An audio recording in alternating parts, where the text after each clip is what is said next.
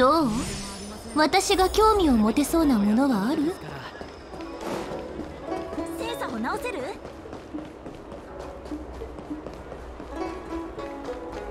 困りごとならチコ戸籍管理の効率が悪すぎる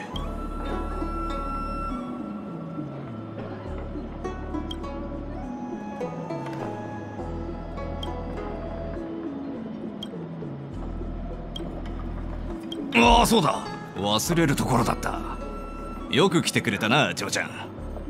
慶元将軍の客人が俺たちの要請を受けてくれるとは本当にありがたい。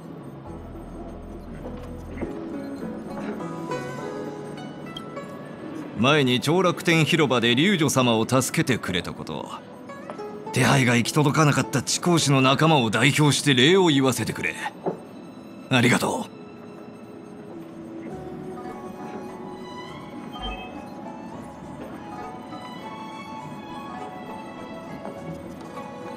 知っての通り性格の災いが訪れて以来魔音の実の狂病が蔓延している。魔音の実は先週人が起依してきた宿命で獣王種の監視があれば本来こんなに頻繁に現れるものではないんだ。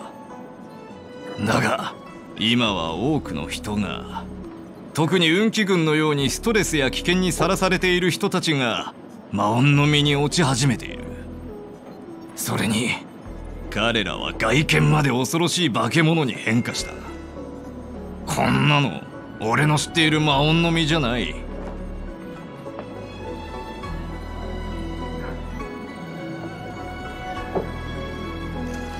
その程度のことでお前の手を煩わせるつもりはない。魔音の実を抑える計画なら将軍様が考えているはずだ。お前は強いから将軍様の依頼を受けて性格を追う中できっと魔音の実とも戦ったことがあるだろう。どんなに小さな手がかりでもいい。見つけたら地公子に知らせてくれ。そうすれば俺や同僚たちがすぐに対応できるしもし手伝えることがあれば素早く力を貸せるからな。ああそうだ。ここに来るまでに何か見つけたものはあるか？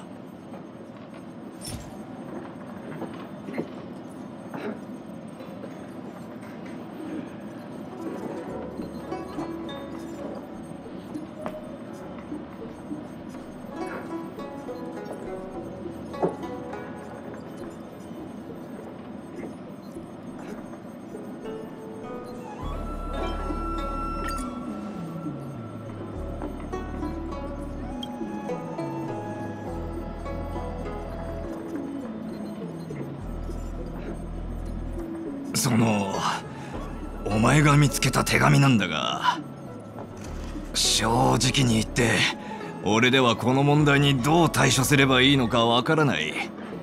これは地公子の管轄を超えている。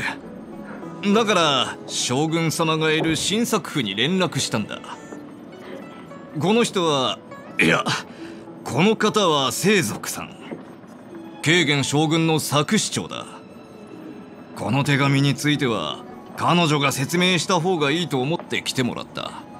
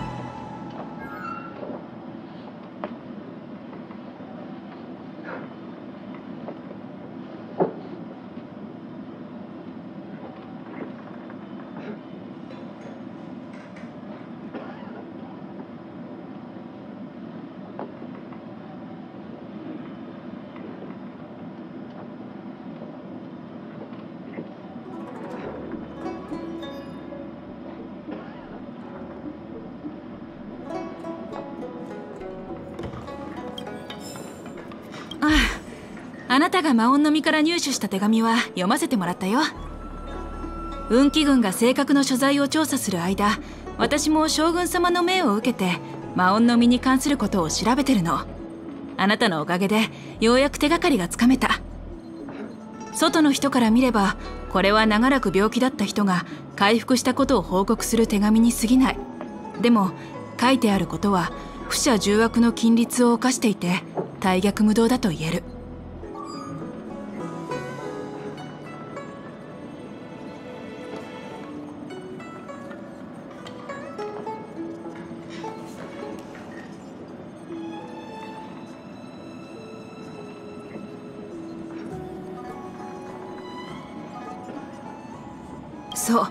同盟が成立してからというもの。治癒の名を借りた長命や変異改造を避けるため泉州のあらゆる治療行為には厳格な基準と境界が設けられてるの。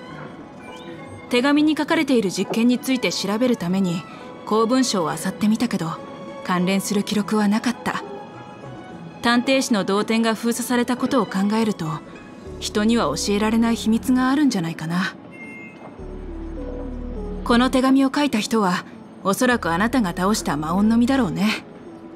彼は誰かに惑わされ病を治療するという名目で毒を盛られあなたが見た姿になったんだと思う。こういう振る舞いは泉州で数千年前に壊滅した組織薬王秘伝を思い出させる。禁忌である丹鳳を掘り起こしいわゆる先導の秘密を復興させることを志としている北条の信者。とっくに滅びたはずの組織が今更復活して混乱を招くなんて思わなかった。取り返しのつかないことになる前にこの組織の現状を徹底的に調べないと。もし他にも薬王秘伝に関係がありそうな手がかりを見つけたら新作府に来て私に渡してほしいんだ。新作府は今一次資料を必要としているの。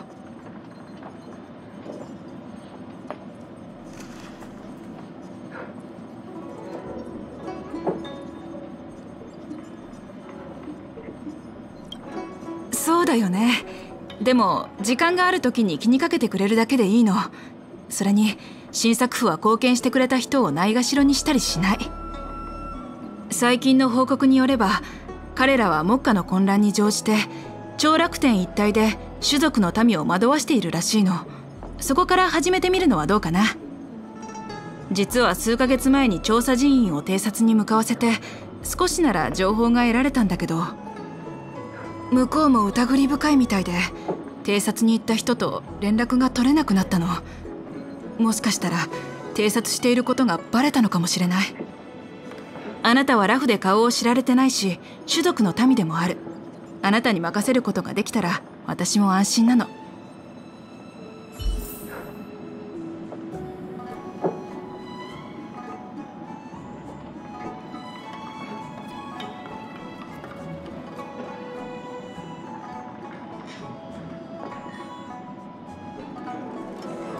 管理の効率がわ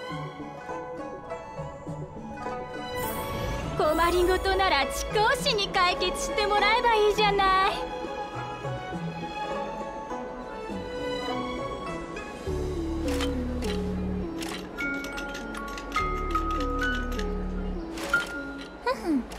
完璧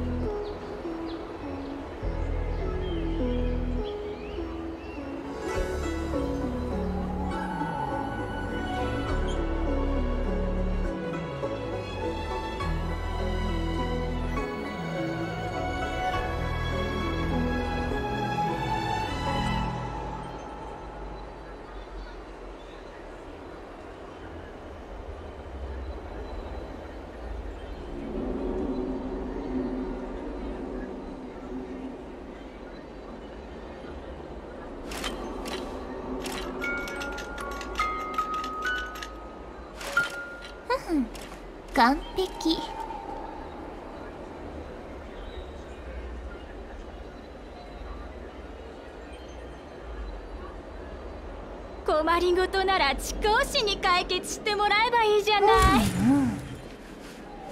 本人には及ばないか。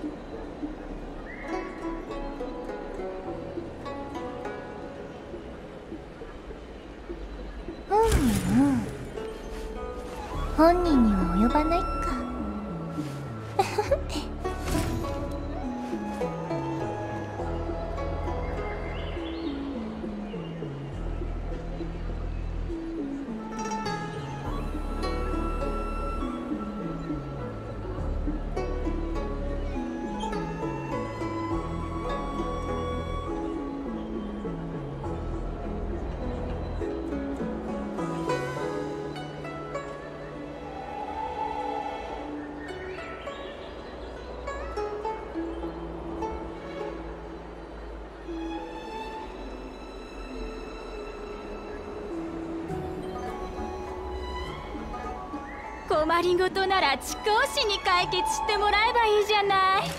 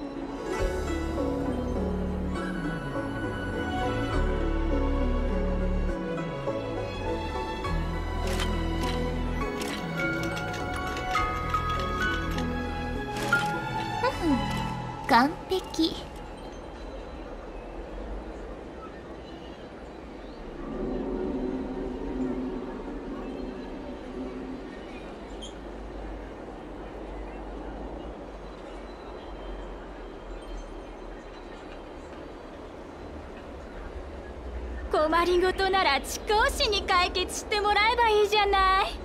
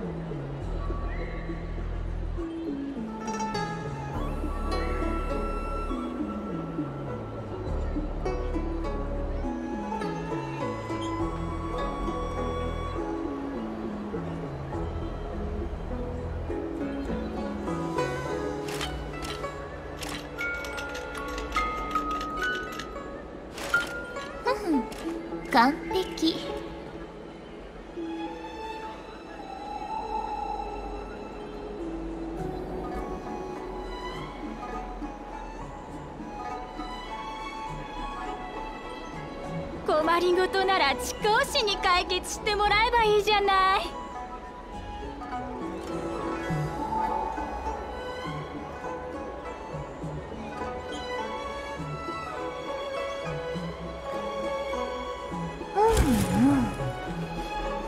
本人には及ばないか。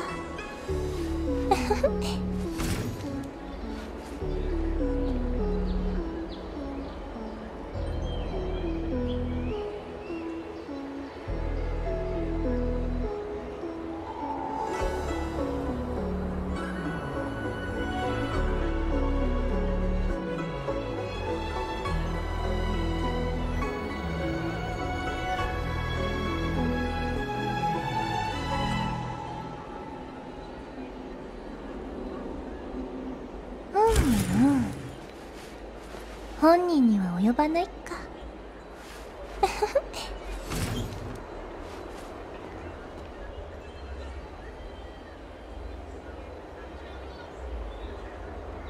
困りごとなら地公子に解決してもらえばいいじゃない。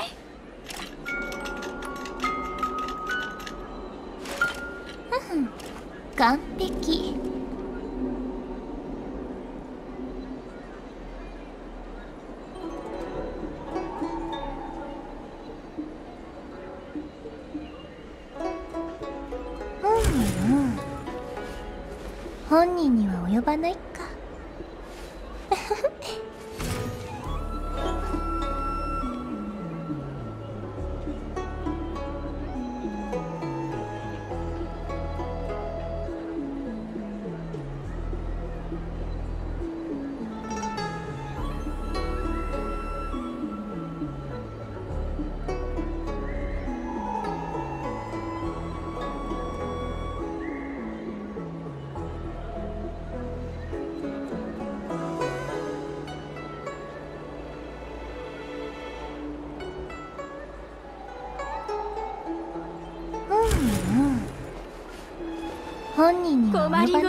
地公子に解決してもらえばいいじゃない。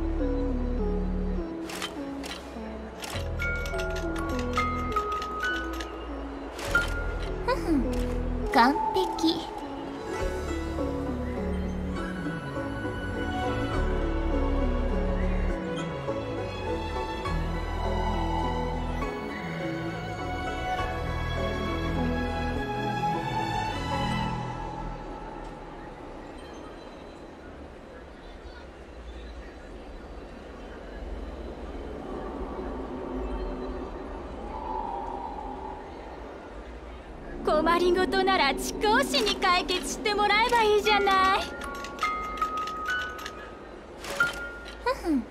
完璧。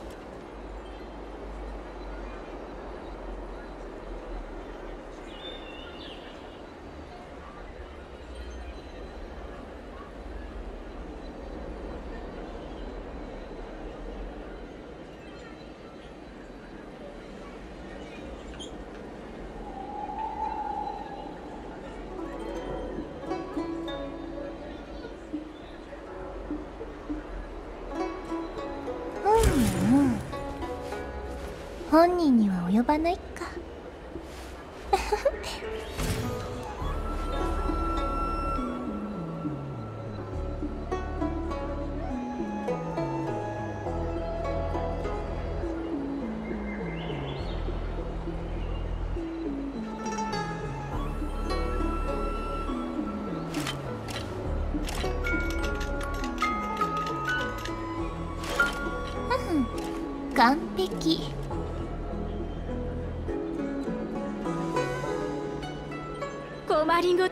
となら地公子に解決してもらえばいいじゃない。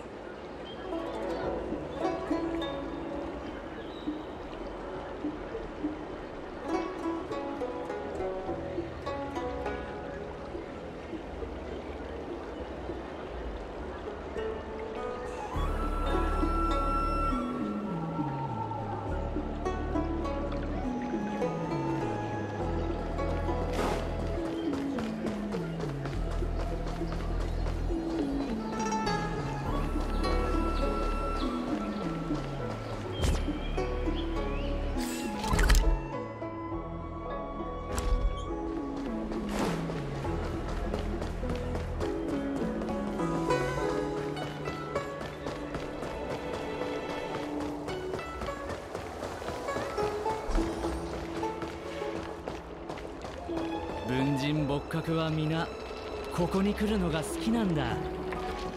どうしてかわかるかレンジフードの掃除から精査の修理まで。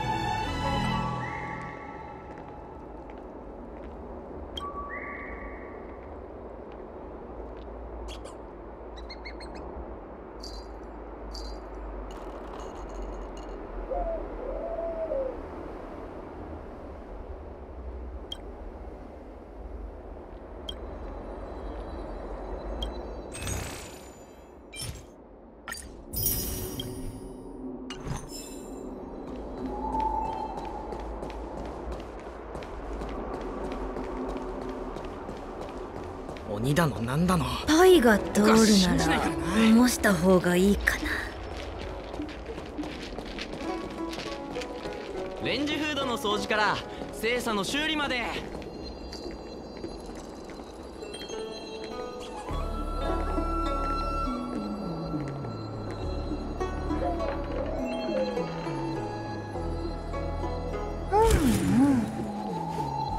本人には及ばない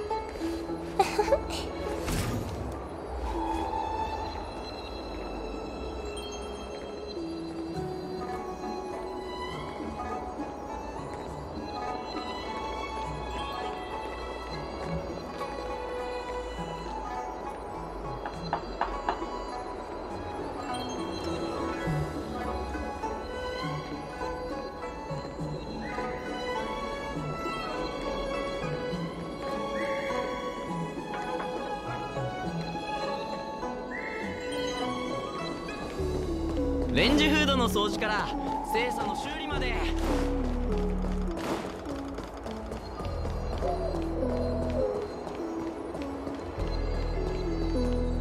そこの違法の客人お待ちください。あなたは調整を望みますか？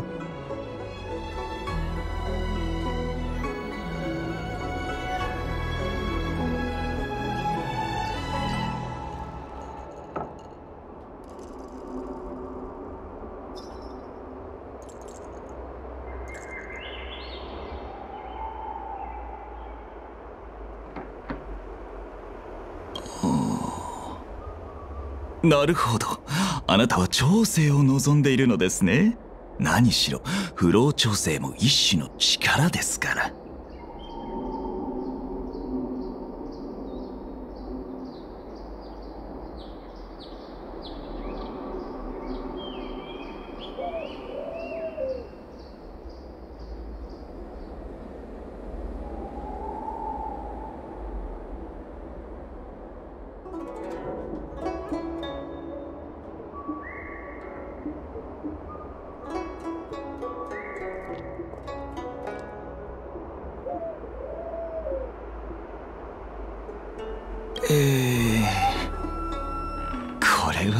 ました。お嬢さん。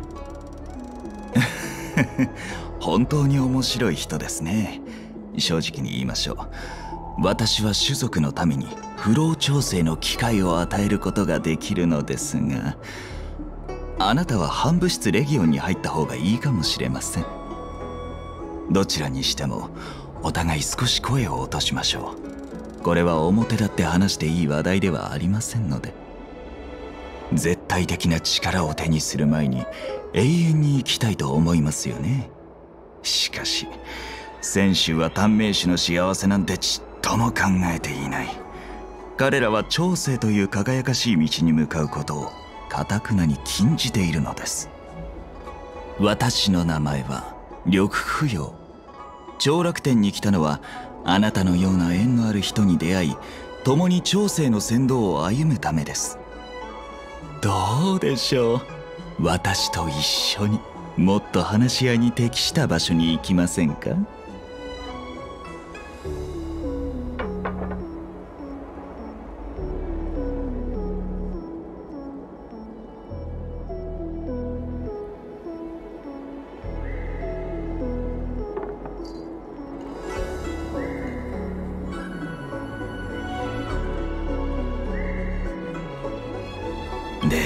速出発しましょう。ここは人が多い。あまり長いすべきではありません。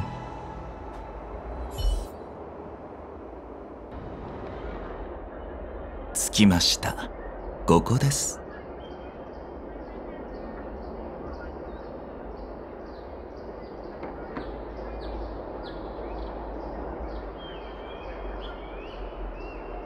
まあそう焦らないでください。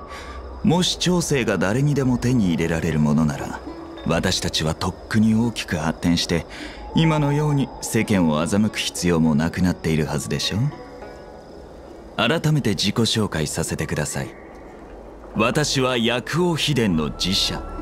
長楽天では身分を明かすことができませんでしたが今なら堂々と口にできます。薬王秘伝は薬王様を信仰する組織で寺社は京都たちの呼び名です。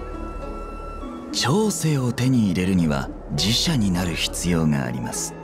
そして寺社になるには簡単な試験を受けなければなりません。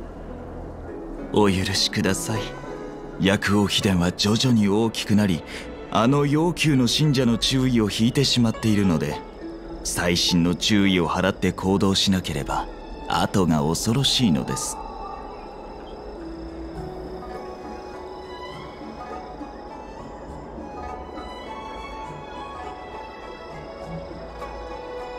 求めれば必ず与えられる。薬王様は寛大な心をお持ちで誰かの祈りを簡単に拒むことはない。ですから薬王秘伝の試験もそこまで難しいものではありません。この千手寺飛薬王旧世品を500回書き写し仲間たちにあなたの誠意を示せば晴れて自社になることができます。これは私たち薬王秘伝の根本にある大教ですので敬虔な心を持って書き写してください。なできれば暗記してくださいね。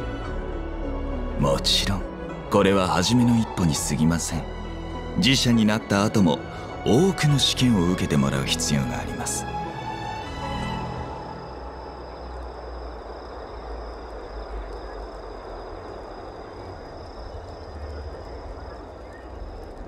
ご心配なくちゃんと用意してあります。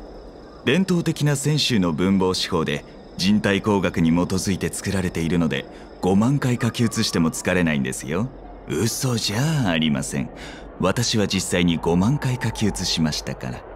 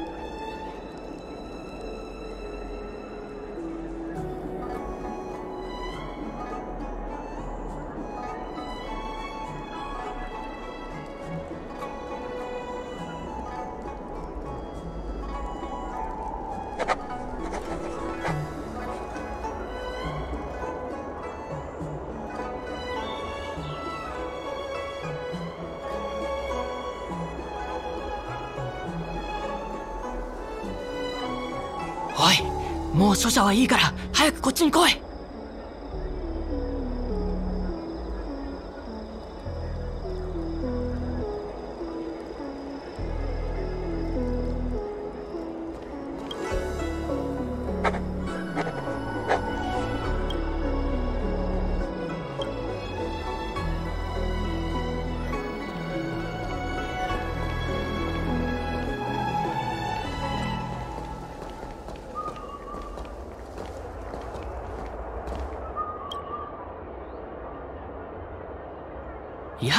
来たか。お前のことは知ってるぞ。軽減将軍の客人。いや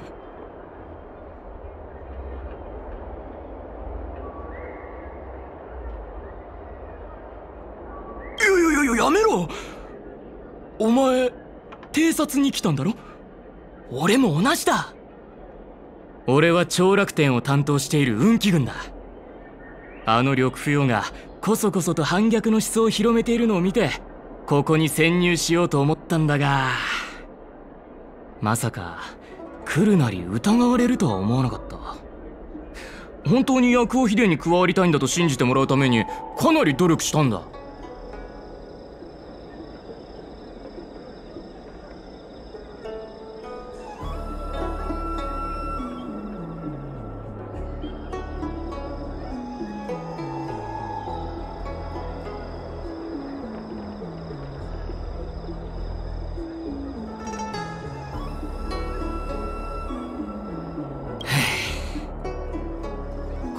組織が勢力を伸ばそうとしている時は大抵の場合法を司る組織に影響を与えられる船員を欲しがっているものなんだ。だから俺も甲冑を着てきた。これこそ需要を完全に見抜くということだな。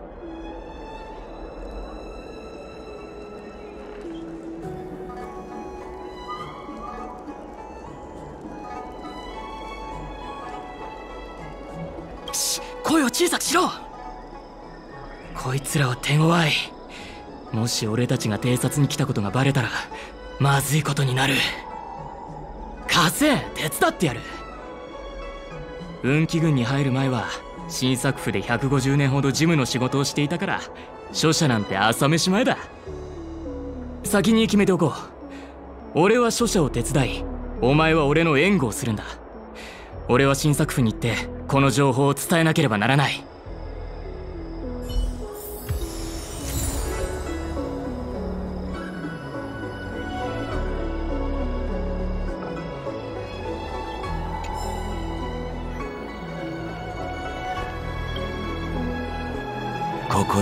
ち着かせてゆっくりと書き写してください。時間をかけて千住寺飛躍王旧世品の市場の美と善を体得するのです。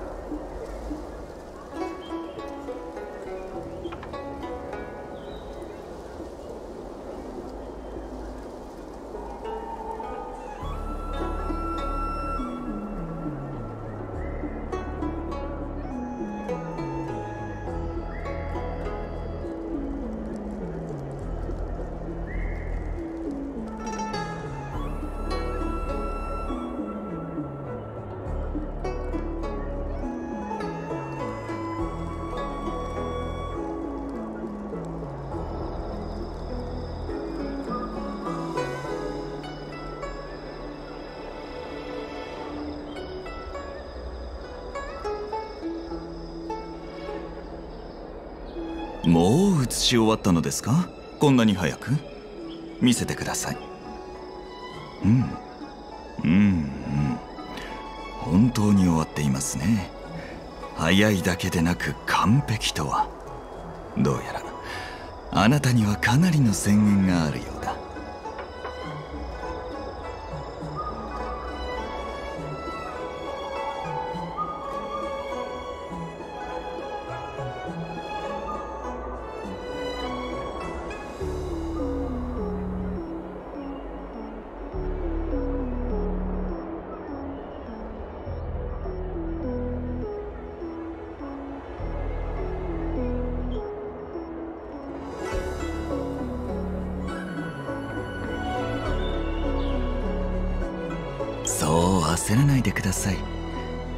試験は2段階に分かれていてあなたとそちらの運気軍は最初の段階を完了しました。あとは最後の段階が残っています。よし。じゃあ次の段階は明日からでいいよな。俺は勤務中にこっそり抜け出してきてるんだ。そろそろ戻らないと怪しまれてしまう。ご心配なく。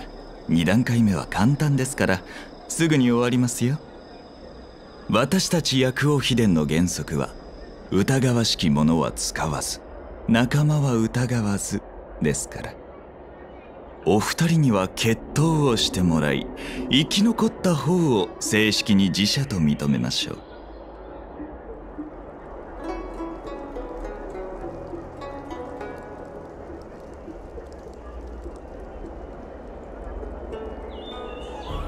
素晴らしい。薬王秘伝はあなたのようなやる気のある新人を歓迎しています。さあ私たちにあなたの実力を見せてください。ま待てやめてくれ。俺たちがここに来たのは長生のためであって死ぬためじゃない。急に戦いと言われても俺には無理だ。決闘は強制ではありませんので戦わなくても結構ですがそうなるとここから出すわけにはいきませんね。分かった。戦う。その代わり少しだけ心の準備をさせてくれ。それくらい許されるだろ？こんなこと今までしたことがないんだ。私は構いませんがそういうことはあなたと戦う相手に聞いた方がいいのでは？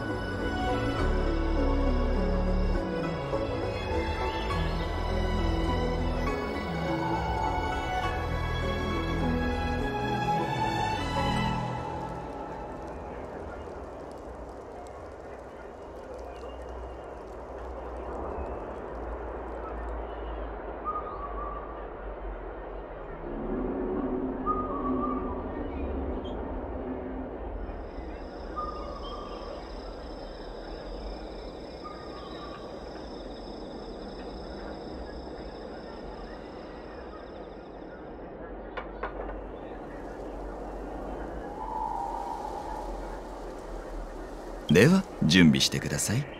時間は貴重ですから急いでくださいね。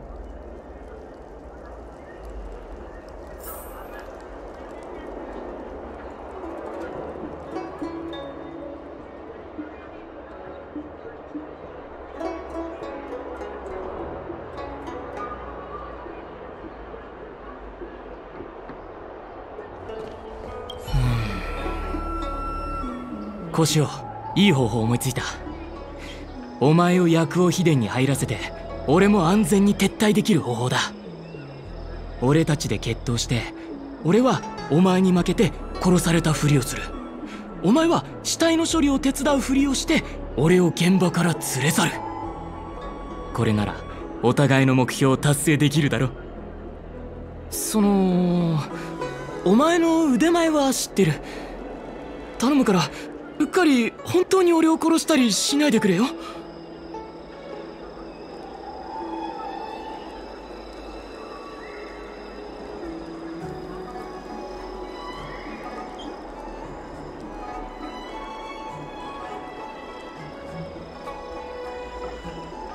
おい少しは手加減を。いやこうなったのも俺のせいだし生きるか死ぬかは運に任せる。ただなるべく殺さないようにしてくれ。準備はできましたか？もう決闘を始めても？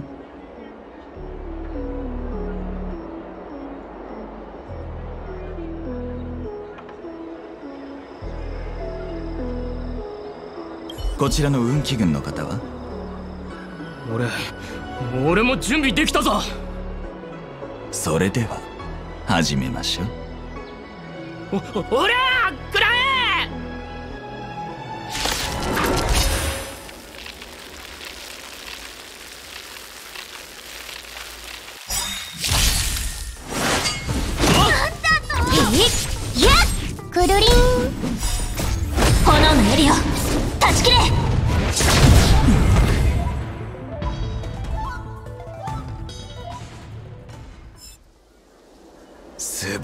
しい腕前ですね。さっきまで元気いっぱいだった運気軍があっという間に倒されてしまいました。あなたが勝ってよかった。この者は運気軍の甲冑を着ながら入信したいと言ってきたのですが考えなしの発言が多くてもし彼が勝っていたとしても本当に信用できるのか少し不安だったんです。シギクラントこの運気群を適当な場所で処理してください。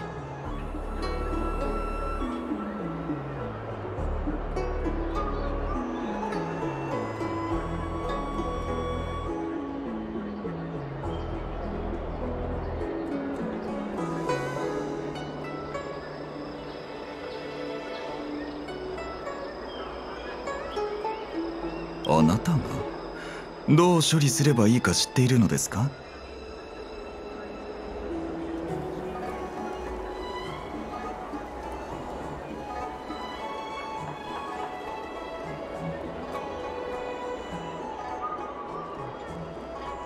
長い付き合いの協力者。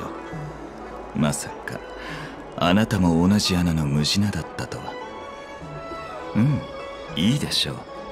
ここ数日ほど仲間たちが長楽天で布教活動をしているのですが猟犬ともの注意を引いてしまいましてあなたが処理した方が安全かもしれませんね。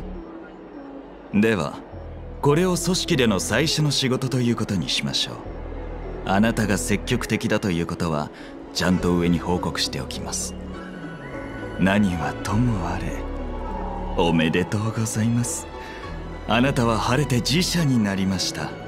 名前はハイボタンにしましょう。ハイボタン？人目を避けるために一旦別々に行動して後で落ち合いましょう。それではまた後ほど。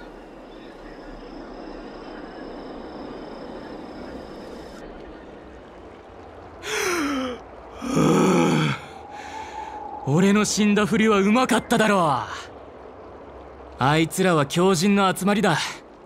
後で接触するときは気をつけた方がいい。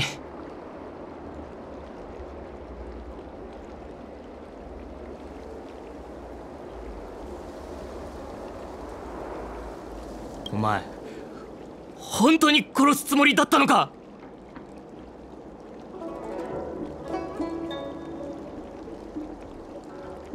驚かせないでくれ。俺たちは一連卓勝なんだぞ。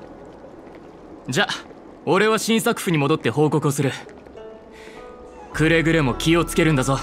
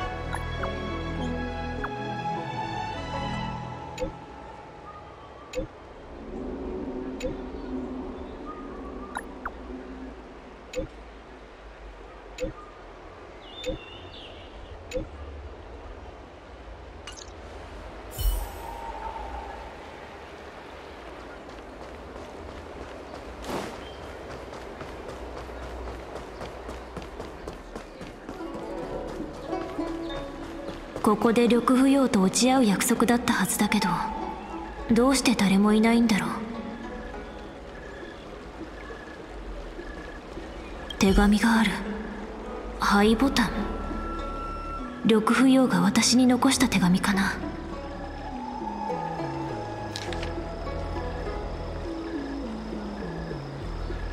薬王秘伝は本当に慎重なんだ。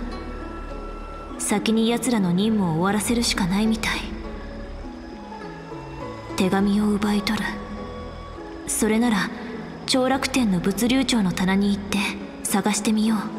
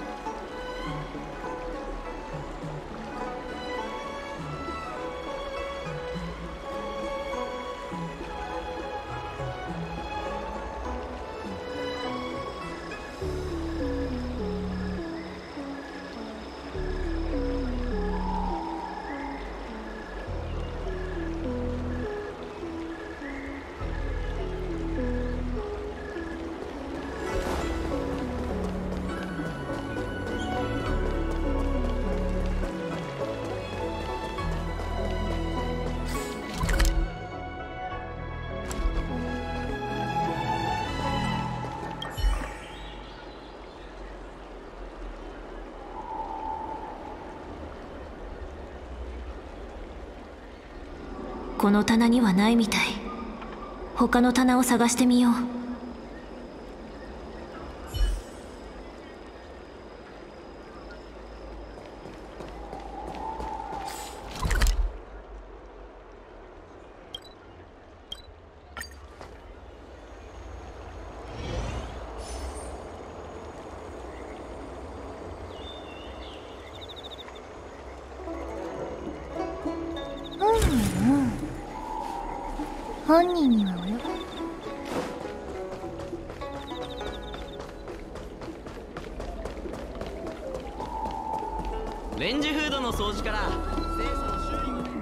この郵便物新作譜宛て支給って書いてある。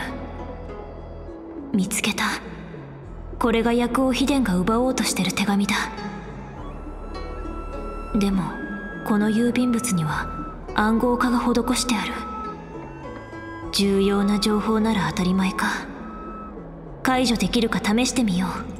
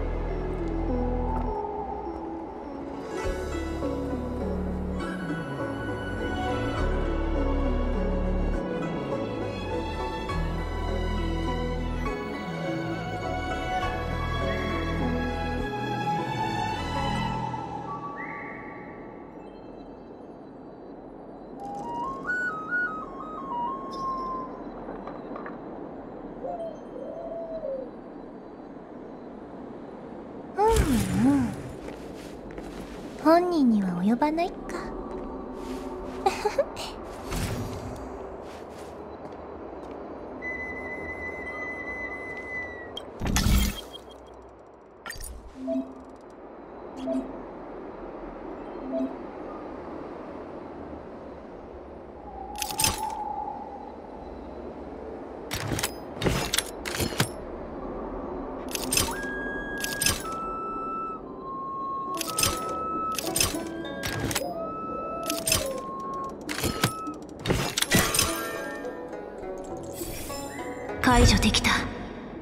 薬王秘伝の内部命令で間違いない。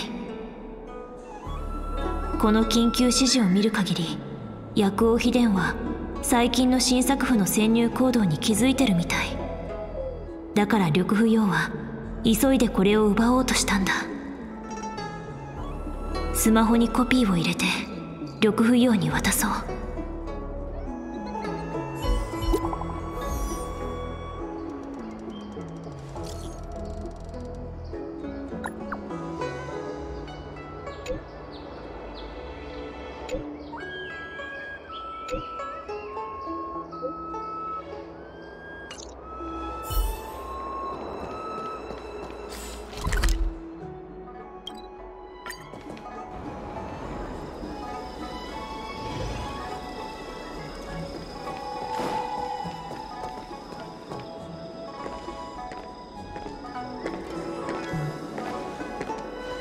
重月様こちらが以前お伝えしたハイボタンです。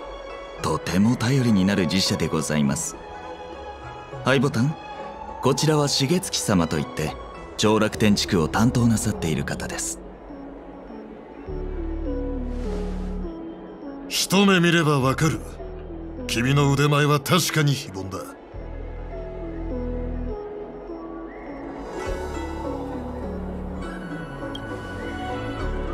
なんて無礼なことを。何？気にするな。君のような性格の人間は好きだ。聞かせてくれ。君のような強者がなぜ薬王秘伝に入りたいと思ったんだ？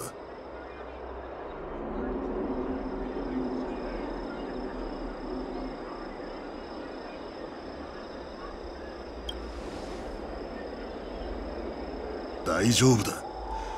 追い求めるものが力だろうと長生だろうと全ては人間の遺伝子に刻まれた本能。本能に逆らう行為は滑稽で恥ずべき悲しいことだ。今の君は自分の進むべき道を見つけられていないがすでに正しい方向を向いている。これは素晴らしいことだ。この処方箋をあげよう。この薬を飲めば僕たちのように要求過疎が君の魂にはめた枷を断ち切り至極の力と自由を手にできる。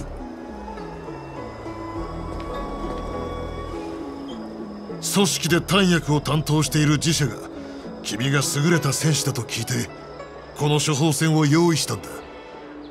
ここに書かれている薬には遺憾で買えるものもあれば自力で手に入れなければならないものもある。だが君の力があれば簡単なことだろう。他に質問はあるか？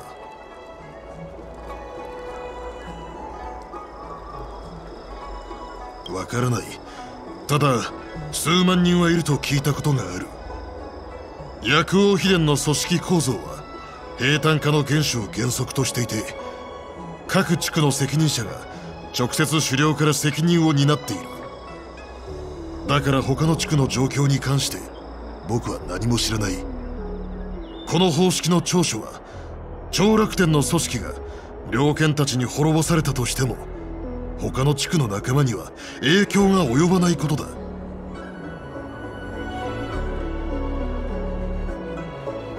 処方箋の作成を担当する者たちは誰もが微妙な立場にいる。彼らの身分は知っているがその身の安全のために口外するわけにはいかない。君を信用してないわけじゃないハイボタン。これは皆の安全のためだと理解してくれ。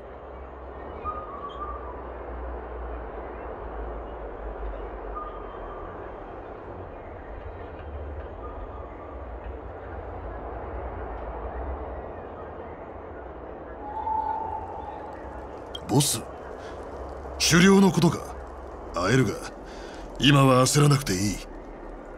君の実力ならこのまま職務を果たしていればすぐに狩猟に会えるだろう。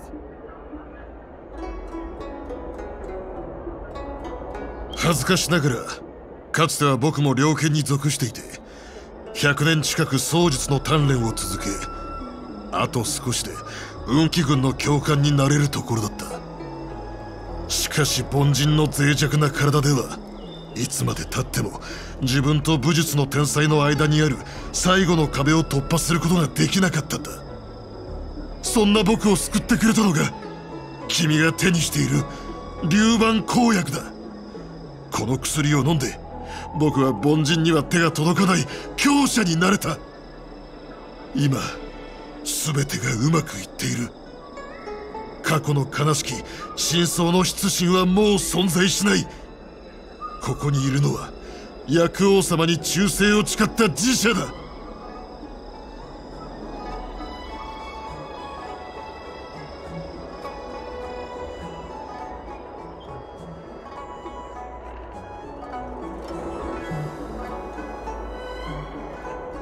待て。僕のことを知っているのか。出身という名前を聞いてから君の表情が変わった。重月様どうやらこの者はあなたを探しに来た内通者のようです。バカ者半日も試験を受けさせて何を試したんだ。こんなに分かりやすい内通者が君のせいで侵入したんだぞ。そそんな私の目の前で運気軍を殺したのですよ。忌々しい。要求こそは哀れな凡人たちに死を回帰だと思わせた薬王秘伝に潜入するために命を賭した苦肉の策を講じるとは。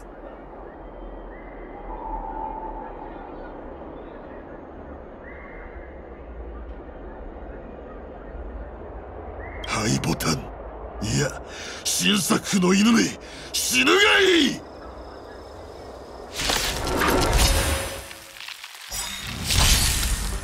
その程度。薬王のめんどくさいやつ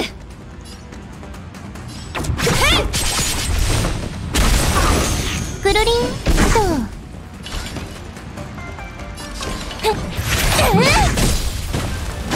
くるくるっと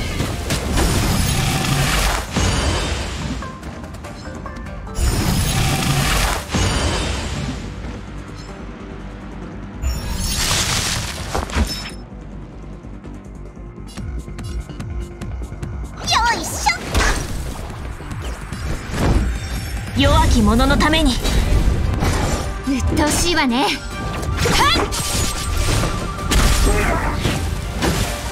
あの世に送ってやる。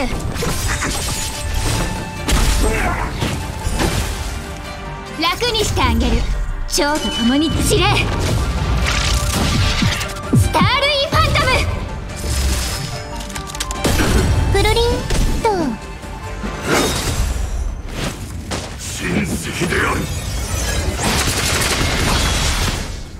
何見てるの？えい！私が誰だか知ってるの？こんな大きなダイヤモンド見たことないでしょ。あげるね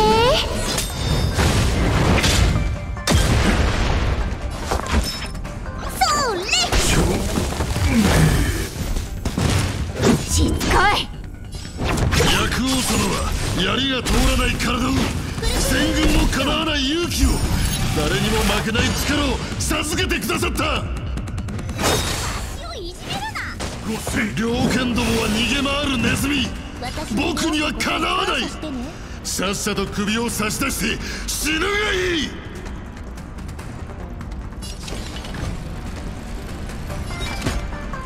痛くしてあげる。よ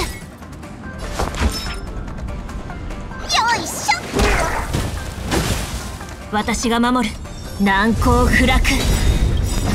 槍先に火を。炎の槍を。断ち切れ。くるりんと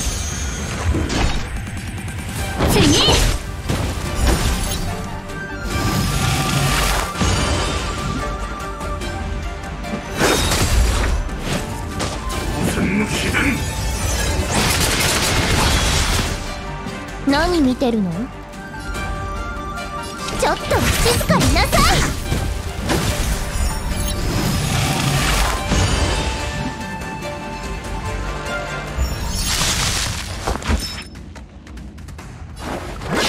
ほれ体に良いぞ！助かった。ありがとう。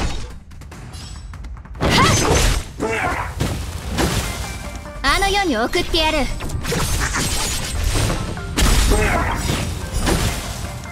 楽にしてあげる。蝶と共に散れ。スタールインファントム。ランス戦闘準備。は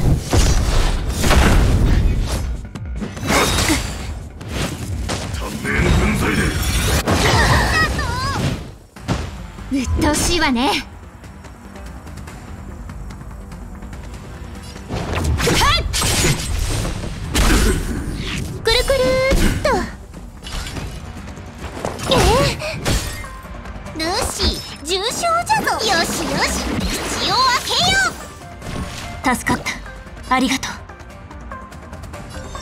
き者のために。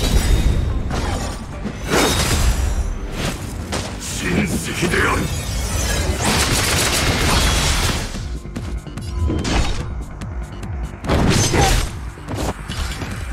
痛くしてあげる。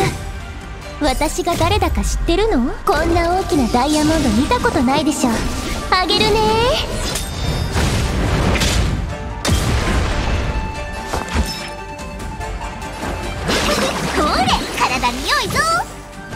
助かった。ありがとう。薬王の杖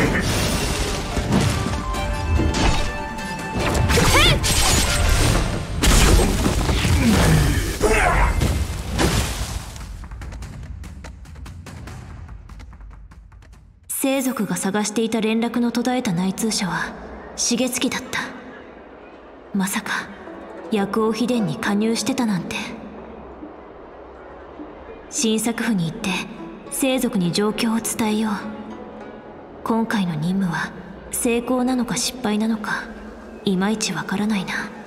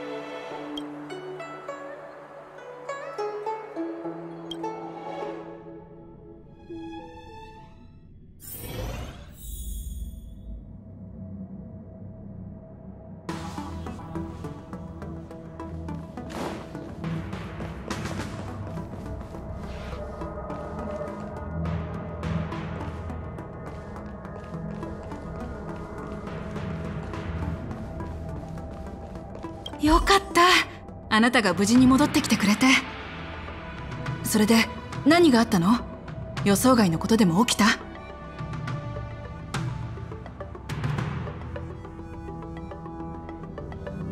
安心して。あなたの内通工作は成功だから。正体はバレちゃったけど価値のある情報を手に入れて無事に戻ってきてくれた。ここまで内通者としての素質があったなんて本当に驚いたよ。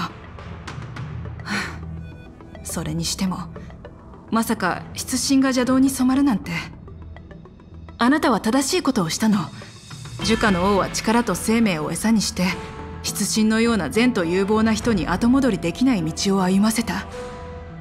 あなたが手に入れた情報はすごく役に立つ。ずっと敵の動向がわからなかったけどこの情報があれば新作譜もより的確な判断を下せる。これは今回の報酬だよ。受け取って。他に質問はある？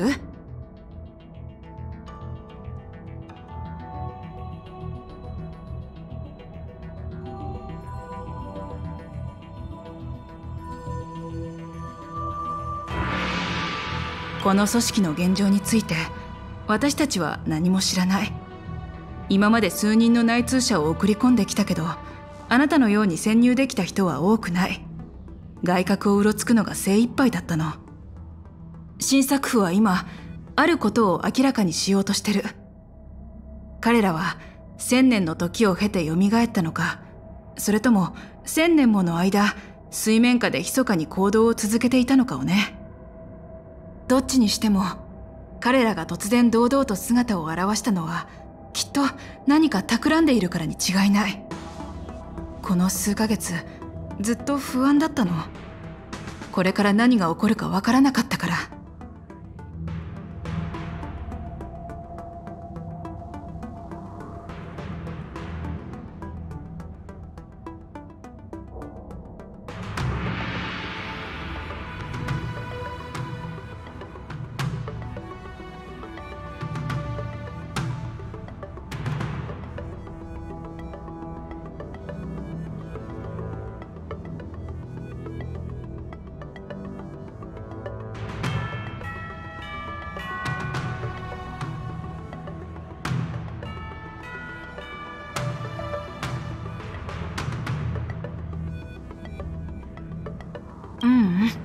薬王秘伝のミッションには私たちが広く潜伏してるように書かれてたけど実際に潜入に成功したのは数人だけなんだ。そして彼らの多くはあなたのように正体がバレた後に無事に戻ってくる実力も素早く信用を得る知恵や運も持ってなかった。それに内通者はあの薬王秘伝の丹薬を飲むわけにもいかないからね。あんなの飲んだら一巻の終わりだもの。つまりあなたみたいに組織の深部まで潜り込んであんなに多くの情報を持ち帰った人はいないってこと。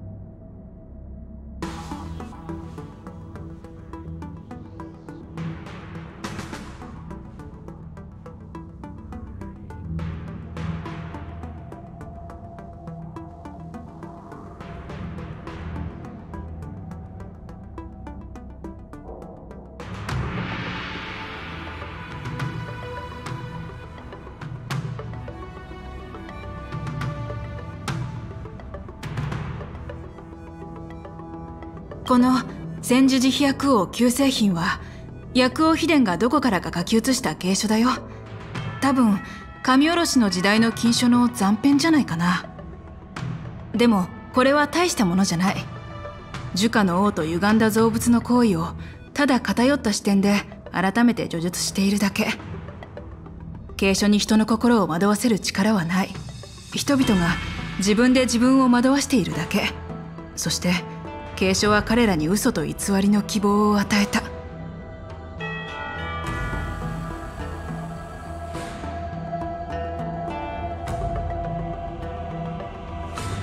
あなたが手に入れた処方箋については私の専門外なの。何人か信頼できる端子が長楽天に駐在してるから詳しいことは彼らのところに行って相談してみて。そうすれば新作府も方針を定めて解毒剤を用意できるだろうから。薬王秘伝が私たちの潜入行動に気づいてるならそろそろ新作府も捜査網を狭める頃合いだね。処方箋の詳細が分かったらいつでも私のところに来てね。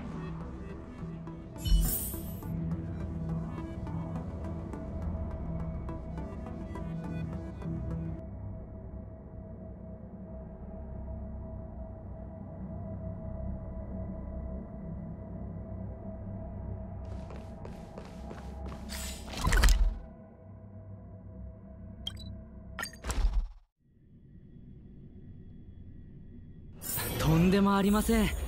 やるべきことをやったまでですから。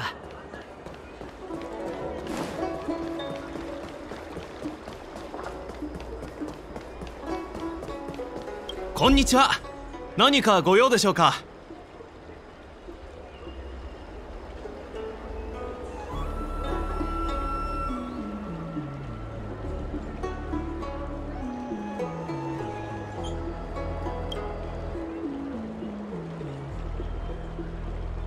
なるほど。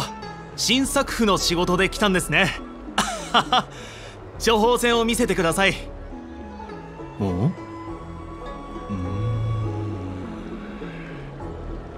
これがよそから来たものならいろいろと言いたいこともあったんですが新作府の仕事なら仕方ありませんね。この処方箋は理解できません。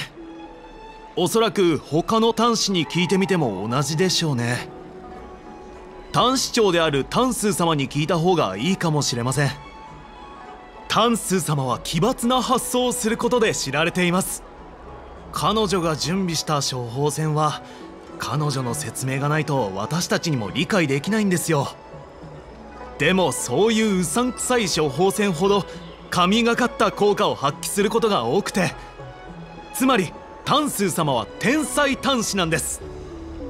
彼女が目の見えない転結者だなんて信じられません。休憩中は若木邸にいるはずなのでそこに行けば彼女に会えると思いますよ。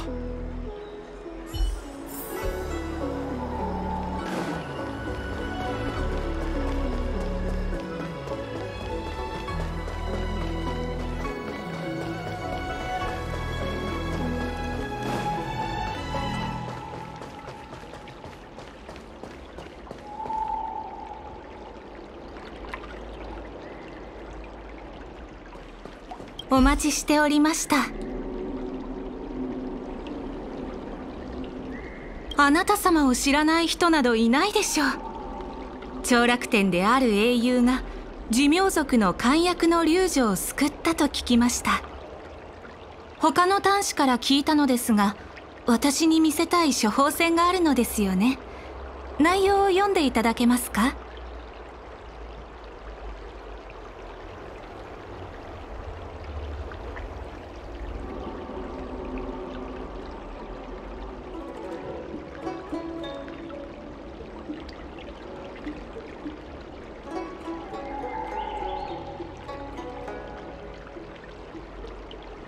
ご心配なく。一度でも聞けば忘れないよう訓練していますので。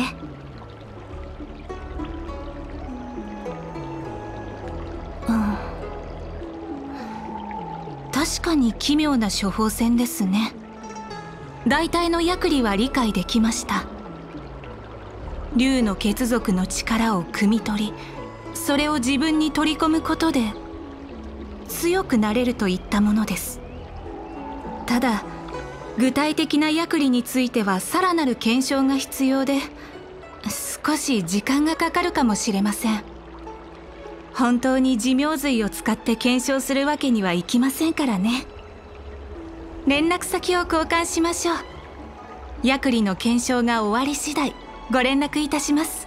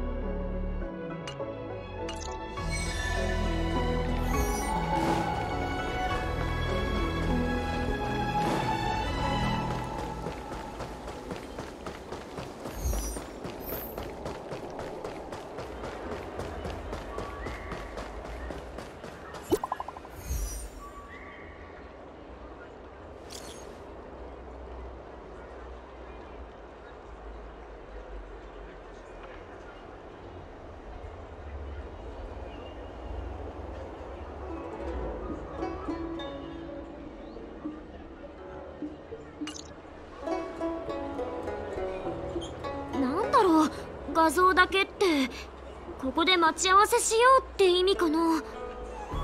映画でよくある誘拐犯の合図みたい。冗談はそのくらいにして早く向かうとしよう。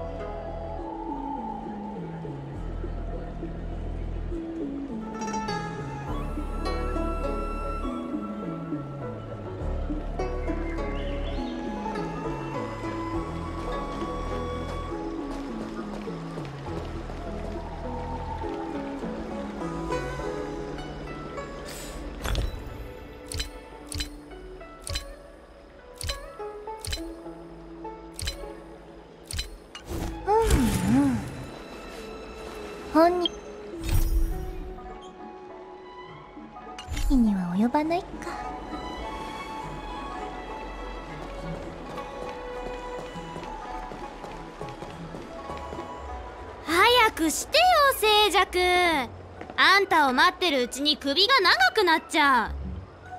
大牧師でも何か問題が起きたんだろ静寂俺たちとパイなんかやってていいのか？平気平気。たとえ大牧師の血が割れたとしても大牧様が何とかしてくれるよ。あの小さな体で何でもやっちゃうんだからうちの大牧様は。そもそも私は遊びに来たわけじゃなくてあの方から命じられたのここで来たる客人を迎えなさいって。だから貴重な時間を無駄にしないようにサボりと仕事を両立してるんだよ。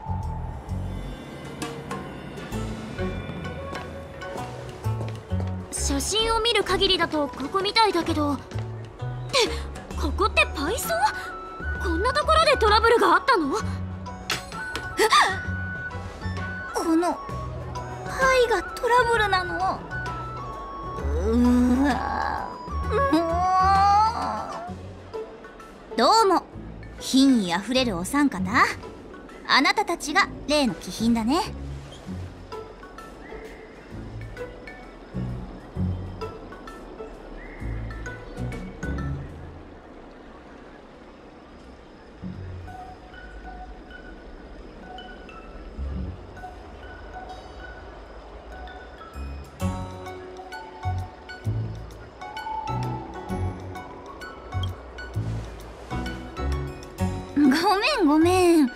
私もちゃんと待ってようと思ったんだけど。おほらポン！でもあの辺は地高子がうじゃうじゃいてうるさくてさ。ちあんな騒がしい場所で待ち合わせなんて。私の番？カン面白みがないでしょ？だからこの機会に長楽天を案内しようと思ったの。ついでに先週の遊び。庭園美玉パイも体験してみたらどうかなって。待って今度こそ。ほ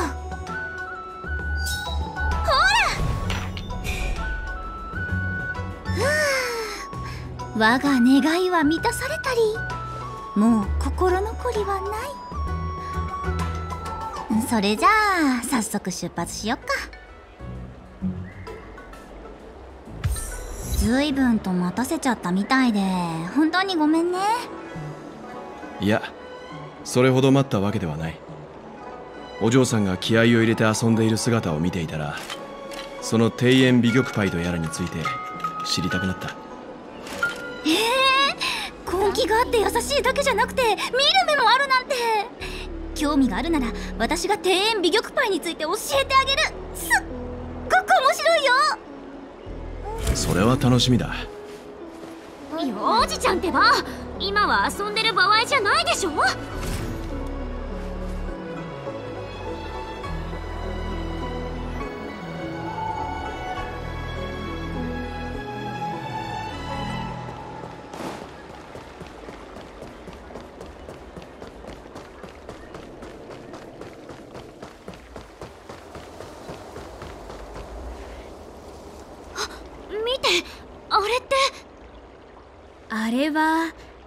木と呼ばれる古樹です。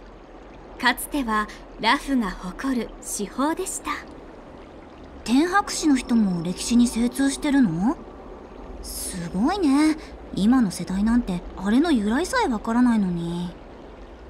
あの剣木は古の時代泉州が天外をかける時に残した遺産だと言われてるんだよ。ここからだと枯れ木の半分が見えるでしょ？でも上国ムカロクによれば全盛期の大きさは天に至り星をかけるほどだったんだって。それってつまりつまり空に至るほど高く枝に星がなっているようだったということだ。え？そんなに大きかったの？列車と同じいや宇宙ステーションヘルタと同じくらいかも。それも違うか。星がなるぐらいなら先週よりも大きかったりして。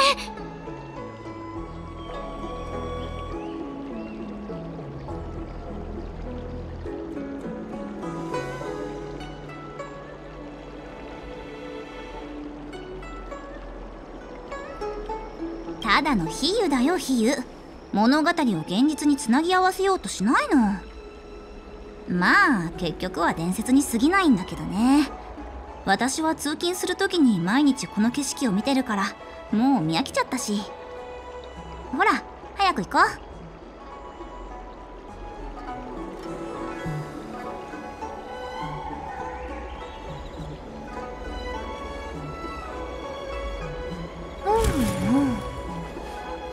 本人には及ばないか。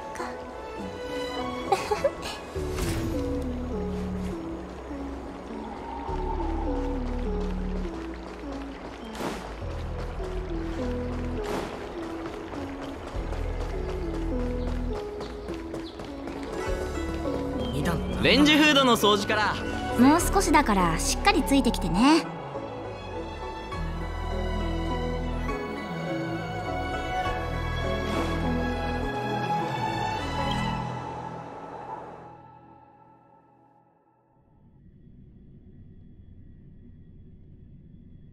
先に言っておくけど中に入ったら好き勝手に振る舞うのはやめてね。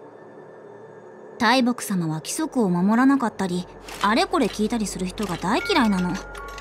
自分が招いた客人だとしてもきっと怒られちゃうから。完璧。審問を傍聴するだけだ。終わったらすぐに離れる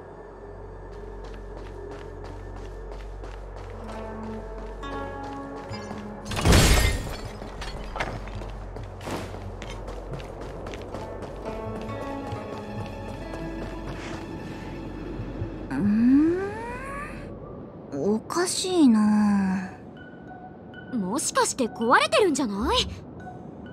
うーん。鍵がかかってたことなんてないのに。鍵を持っていけっていう人もいなかったし。おーい！いくらまずい飲食店でも客を門前払いしたりしないよ。本当に大牧師の人なの？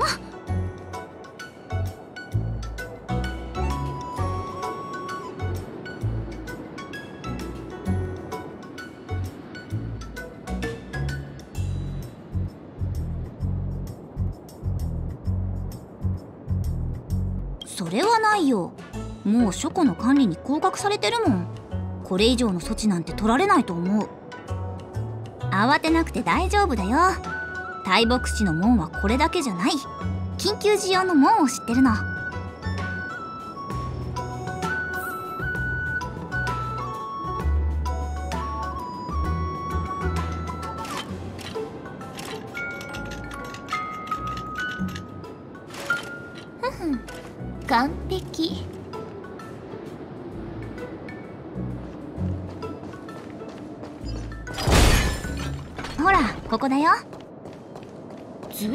詳しいんだね。きっといつもサボる時に使ってるんでしょう。察しがいいね。そう。この門は大牧師の人に気ままの門って呼ばれてるんだ。暇があるとよくここから抜け出して外で何時間も自由を満喫するの。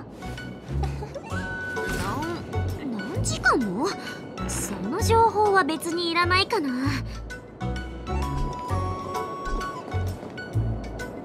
性格やら侵食やらで面倒なことに。ダメだ。この門も開かない。あんまり大木様を待たせるとまた頼りない静寂とやらかしたって思われる。案内人がこれだもん。やっぱり大木は怒ってるんだよ。君さえ構わないのなら俺が試してみてもいいだろうか？えそれはちょっとなんてね。今のは冗談。全然ダメじゃないよ。それじゃ陽先生に教えてあげる。きっと楽しめると思うよ。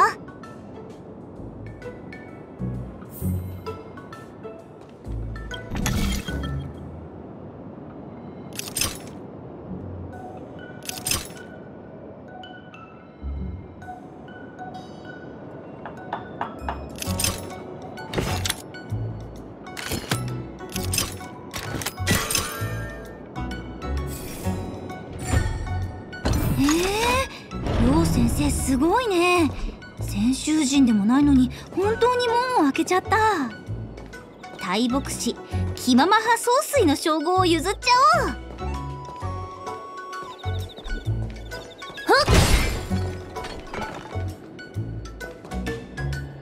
おう。驚いた？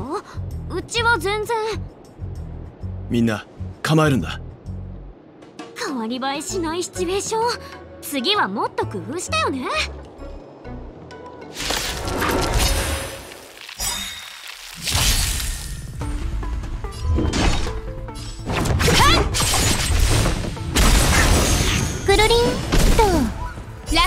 あげる。蝶と共に散れ。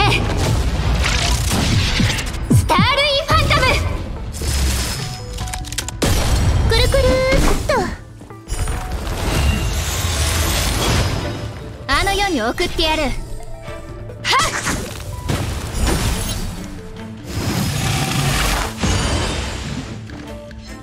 何見てるの？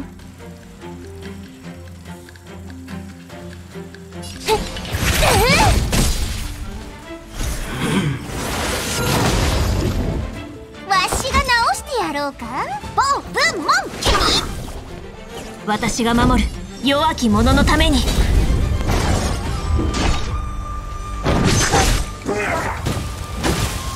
あの世に送ってやる。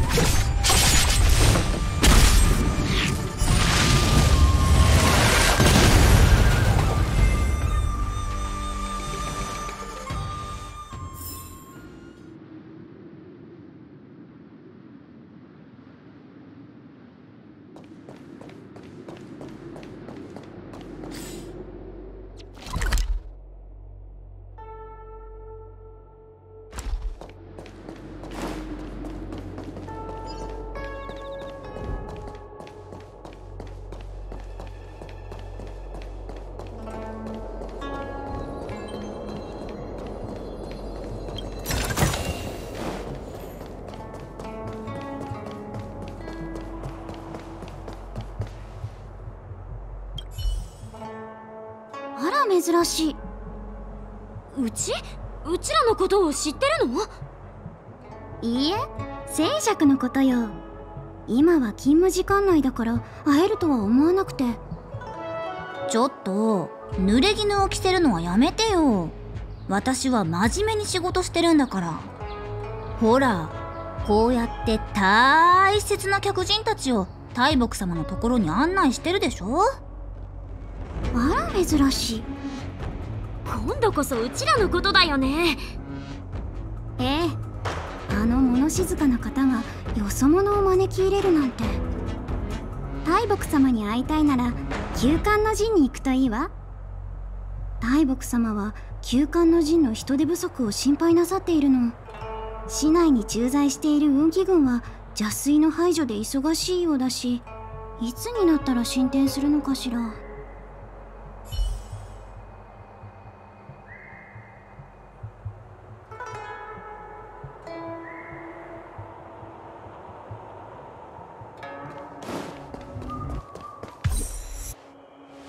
目の前にあるのが私たち大牧師が誇る大型玉鳥演算装置。旧館の陣だよ。ここに来るまでの間断るごとに玉鳥という言葉を耳にしたが一体どういうものなんだ？玉鳥はね玉鳥かな？いい質問なんだけどすぐには答えられそうにない。ちょっと待って死密集本には玉に門を掘り万事を占うって書いてあった。印鑑を掘るみたいに構造師の職人たちは玉の結晶格子に何億何兆っていう呪符を刻み込んでそれをいろいろな装置に入れて設定した糸で運行させるの。小さい玉鳥は腕輪にはめられるサイズだけど大きい玉鳥は陣に入れて変数を推測したり未来を占ったりすることもできるんだよ。休館の陣がまさにそれで天理の変化でも浮世の変化でも十分な情報さえあれば何でも答えられるんだ。中の呪符と原理は変地天空のヌースに由来してるんだって。すごく奥が深いものだから大牧師で完全に把握できてるのは大木様だけだろうね。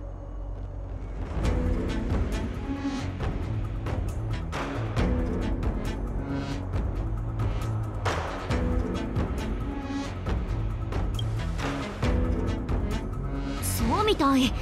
でも玉鳥の方が響きがいいかも。それに普通のコンピュータにはそんな大層な由来はないでしょ？ヌースに関わりがあるなんて。ミス・ヘルタの宇宙ステーションにもヌースに関連するものはなかったと思うよ。とにかく運行さえできれば玉鳥だろうがコンピューターだろうが名前はどうだっていいの。そう。今日の案内人が静寂でも白弱でもどうだっていいのと同じようにね。もうすぐ陣の中心だよ。大木様はそこで私たちを待ってるはず。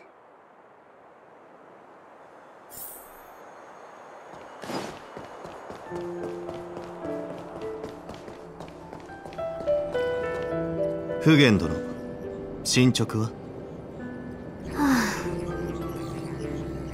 道引きは剣。真のマニュアル行に差異あり。理はなし。普賢殿。わかりやすく。大惨事が訪れる。これが今日の大牧師の運勢です。休館の陣が止まるだけでなく呪符が陰気に染まり市内には性格による邪水までが降りかかる。運気軍は民の保護に奔走しておりますので陣を復元したくとも避ける兵力がありません。そんな中将軍に性格ハンターまで押し付けられたとなれば大惨事と言っても過言ではないでしょう。私の前にいるのは先見の明あり方眼に漏れなしと称えられる普賢殿だ。基地を追い今日を避けるのは君のお箱じゃないか？公言は結構です。運勢。それすなわち天理なれば小賢しい真似で避けることはできません。大牧師は目の前の基地と今日を示し正しい選択をするために最善を尽くすのみ。形勢を一変させるような力はありませんよ。だから普賢殿が必要だと言っているんだ。未来を観測できる性格ハンターを相手にするなら先見の明がある君ほどふさわしい人はいない。人手については心配しなくともすでに準備してある。ほらちょうど来たんじゃないか？大木様ご命令は受けておりませんが客人たちを連れてまいりました。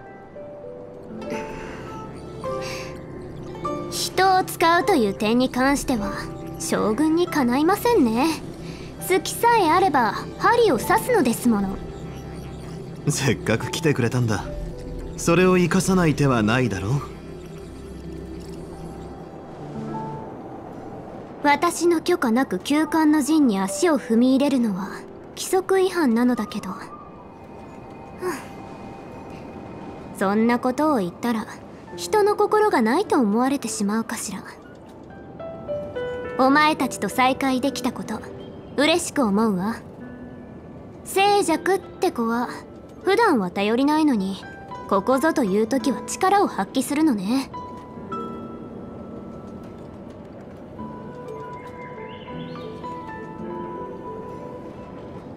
確かに。お前たちになら安心して頼める。ふん。私は誰かと違って大牧師の人間でもないお前たちを勝手に差し使わすわけにはいかないでしょ？社交辞令はやめよう。将軍の話なら聞いたし何でも任せてくれていいから。では無駄話はここまでにしましょう今の大牧師は人手不足。だからお前たちには旧館の陣のもといを再起動する作業を手伝ってほしいの。ついでに性格の邪推の排除もね。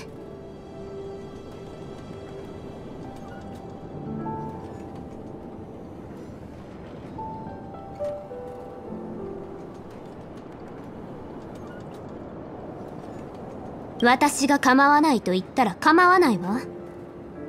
静寂を同行させるから元井の再起動は彼女に任せればいい。邪推の排除については古本自分で占ってみたんだけどうちら3人とも多忙の運命だってさ。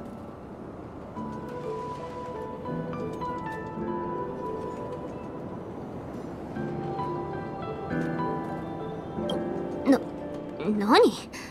魔法の言葉って。それなら簡単だよ。シンプルだけど大事な言葉。つまりお願い！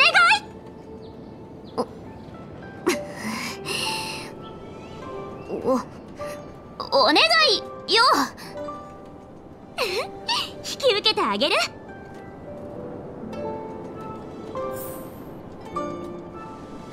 静寂この件はお前に一任する。それからさっき聞いたことは全て忘れなさい。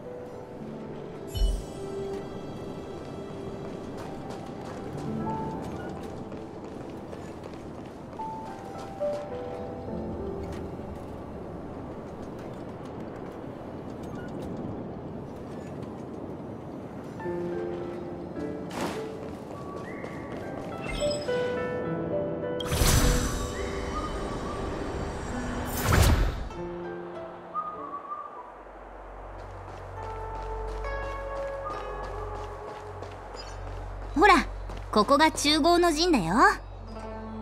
中合を見渡す。つまり天地古今を見るって意味でこのもといは時間に関する情報を調べるのに使われてるんだって。本人には及ばないか。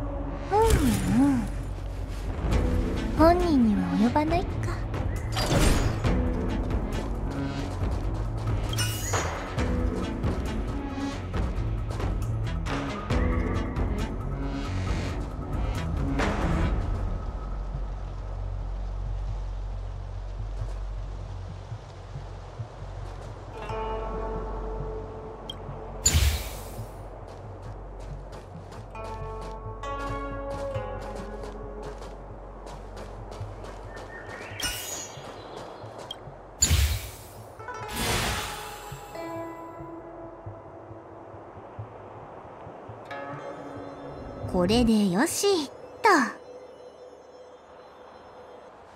え？歩を合わせただけで終わりなの？知らないの？複雑なものほど操作が簡単だったりするんだよ。これならあんたたちの大木様でもできるじゃん。もしかしたら彼女も私みたいにサボりたかったのかもね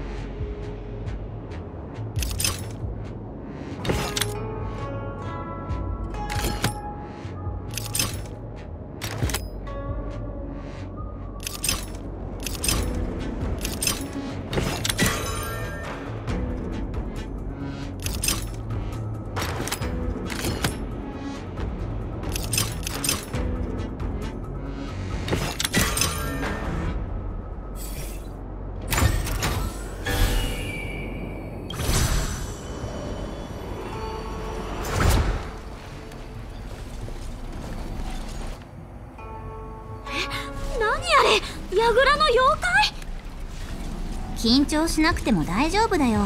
泉州に妖怪なんていないから。あれは金陣って言って陣を守ってるんだ。重要な場所には必ずあれがいるの。あそこでしゃがんでるけどまるで近寄ったら首をはねてやるって言ってるように見えない？前を通ろうとしたら絶対襲ってくるやつでしょ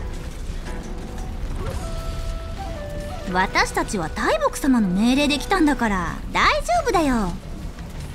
通行。禁止。美月の嬢ちゃんひょうたんから駒が出たね。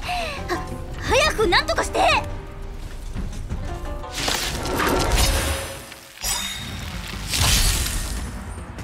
めんどくさいやつ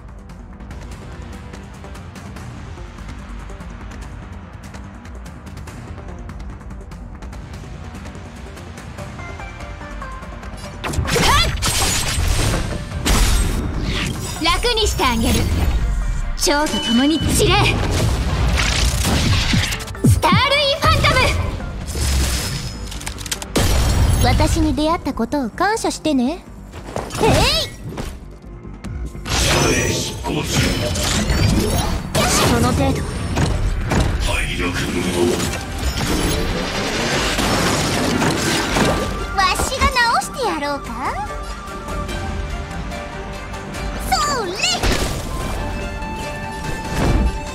難攻不落。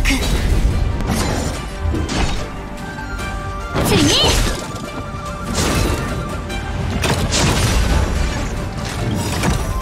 槍先に火を。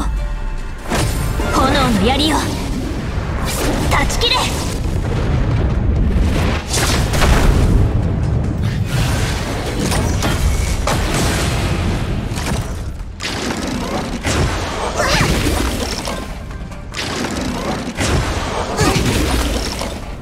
何見てるの？く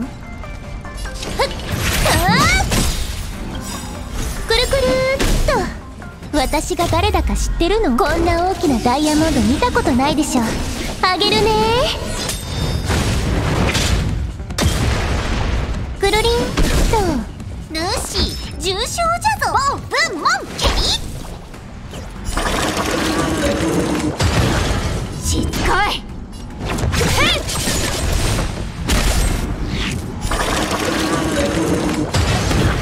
あの世に送ってやる。ヒヤくるくるっと。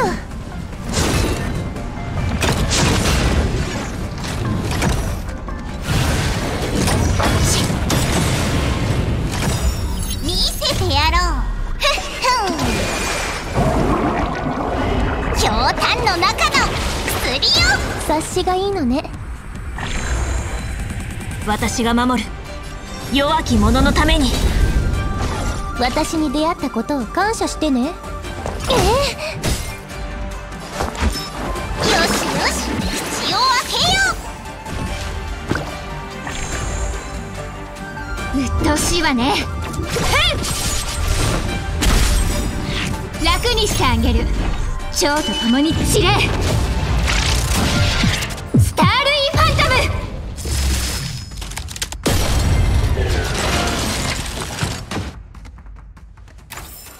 私の時間がパーになっちゃった。ここは快感の陣。確か空間についての情報を扱ってるんだったかな。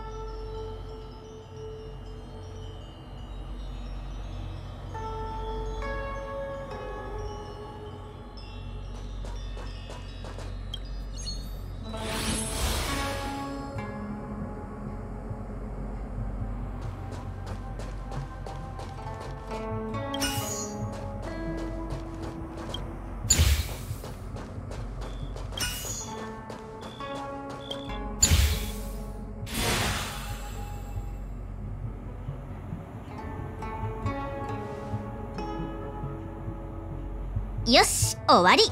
次に行こう。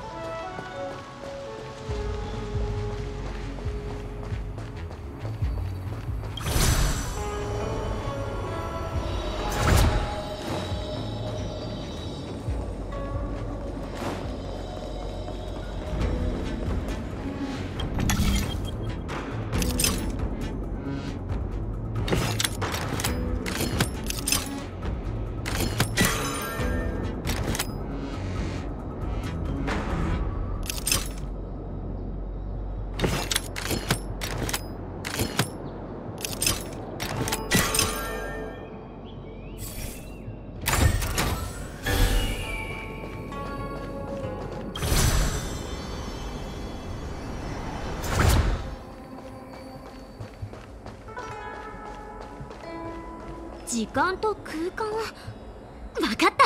ここはエネルギーに関係してるんでしょ？残念。ここは行政の陣って呼ばれていて物事の因果を整理するところだよ。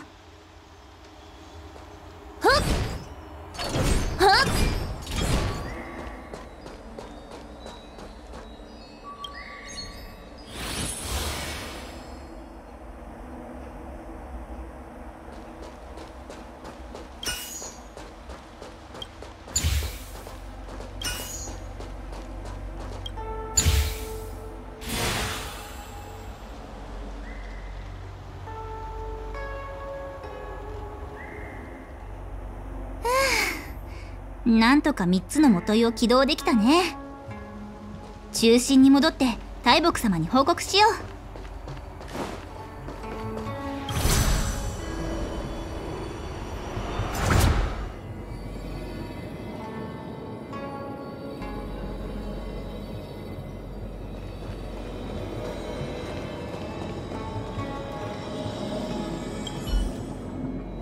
ご苦労様。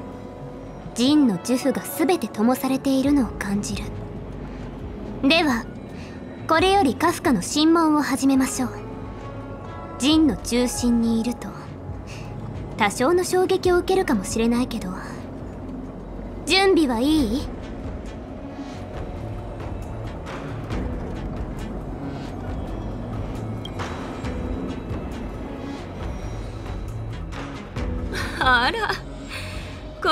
大げさな儀式が必要なの。言うことを聞くって言ったのに。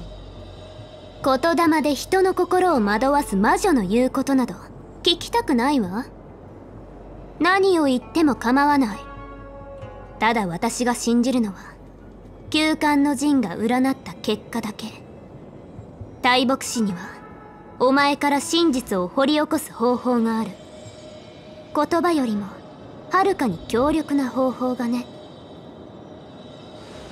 そう。なら大木様私の運命を存分に見届けてちょうだいね。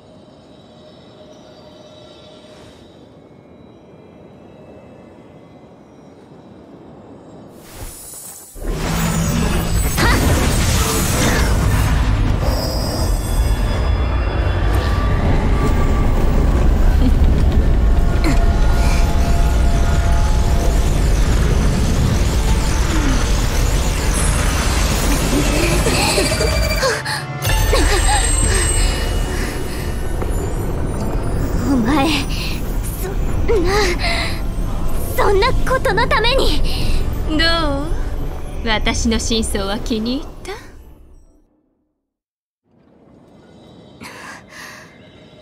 ありえない。でも休館の陣に間違いはない。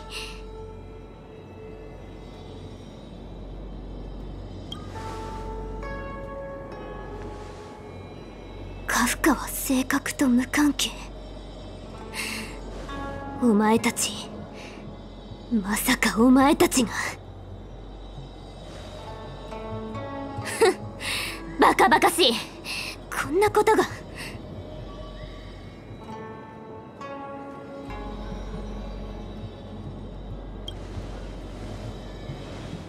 自分で彼女に聞いてみなさい。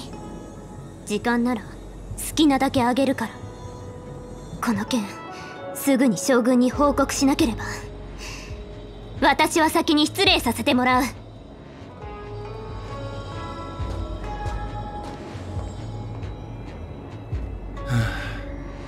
聞いてみたらどうだ？カフカにはいろいろと聞きたいことがあるだろ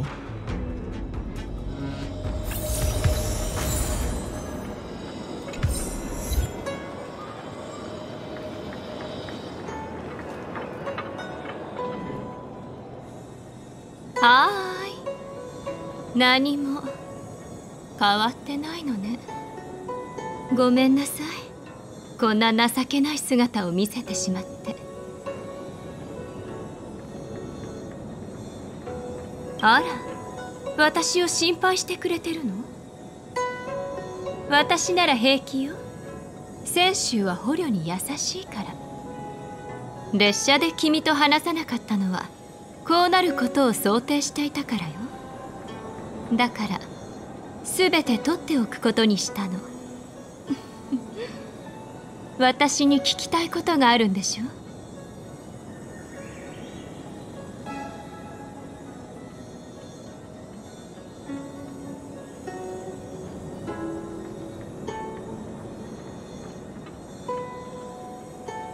エリオは君が3つの質問をすると予言した。でもそれらに本質的な違いはないとも言っていたわ。だから君が3つの質問のうち1つを口にしたら今回の目的の一部始終を教えてあげるつもりだったの。つまり全ての物事は彼の予言通りに進んでいる。どう？私の答えを聞く準備はいい？泉州で起きた性格の災いは私たちと直接的な関わりはない。でもエリオの立場を考えると性格ハンターに罪がないとも言えないわ。私たちは予言のことを知っていながら見て見ぬふりをしていた。そして絶好のタイミングで身を投じたの。大木があんなに驚いていたのは3つの事実を見たからよ。1つ目。性格ハンターは泉州の敵じゃない。これは君も知っていたことだけど信じなかった。2つ目。泉州に性格を持ち込んだ人物は他にいる。うちにも外にも問題を抱えているなんてかわいそうに。ラフ内部の裏切り者と外部の敵が手を組んで泉州を滅ぼそうとしているの。だから大木も慌てて将軍に報告しに行ったんでしょうね。でも大木が知っているのはこれだけ。何しろエリオは私に肝心なことは教えてくれなかったから。彼は大牧師が私に対して休館の陣を使うと予言した。事故を防ぐために今の私は先週同盟が知るべきことしか知らないの。そして3つ目は先週同盟が夢にも思っていない事実。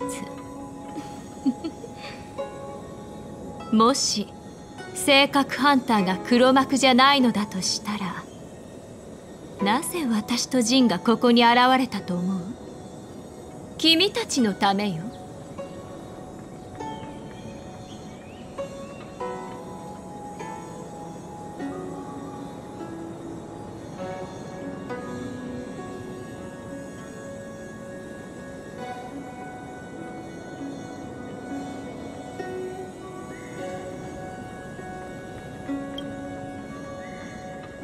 不条理だと思うでしょ？大木が信じないのも無理はないわ。でも休館の陣は嘘をつかない。だから面白い答えが出たの。性格ハンターがここに現れたのも。陣が捕らえられたのも。私がここに連れてこられたのも。全ては君たちを請求列車を。泉州に誘導するためなのよ。請求列車がラフにやってくる。そしてラフで大事をなす。エリオが選択した未来で遵守の力は欠かせないものだから。そのために君たちには同盟と接触してもらう必要がある。だから君たちをここへおびき寄せたの。ラフの将軍とつながり正確な災いを解決して同盟に貸しを作る。そうすれば将来最も大事な時に泉州が君の力になってくれるはずよ。どう？驚いた？悪名高い性格ハンターが君を泉州の英雄にするためだけにこれだけのことをしたのよ。素晴らしい脚本だと思わない？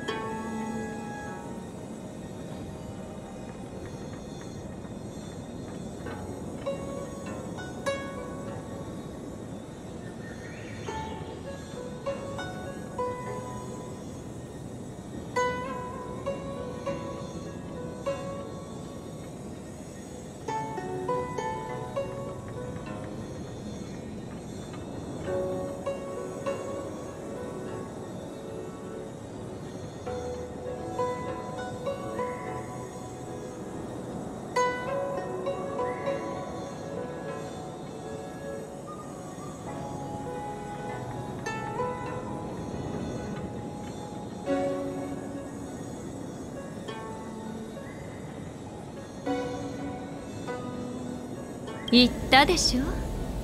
エリオは肝心なことは教えてくれなかったって。未来の可能性は無限にある。物事を知るタイミングを間違えれば今までの私たちの努力が水の泡になってしまうわでも未来について一つだけ教えてあげる。最高と最悪の未来で君たちは壊滅のナヌークと対峙することになる。その時になったらあらゆる助けが必要になるでしょうね。何しろアイオンとの戦いだもの。あれは君も私も請求列車も到達できない域の存在よ。多くの未来ではその瞬間に運命が終わりを迎える。でもエリオの脚本に従えば希望はあるわ。知ってる？たとえ星の神だろうと殺すことはできるのよ。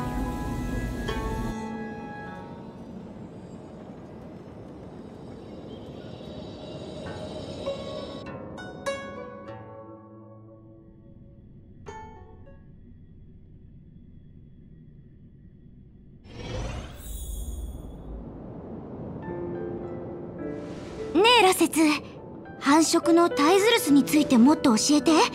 すっごく面白かった。不思議だね。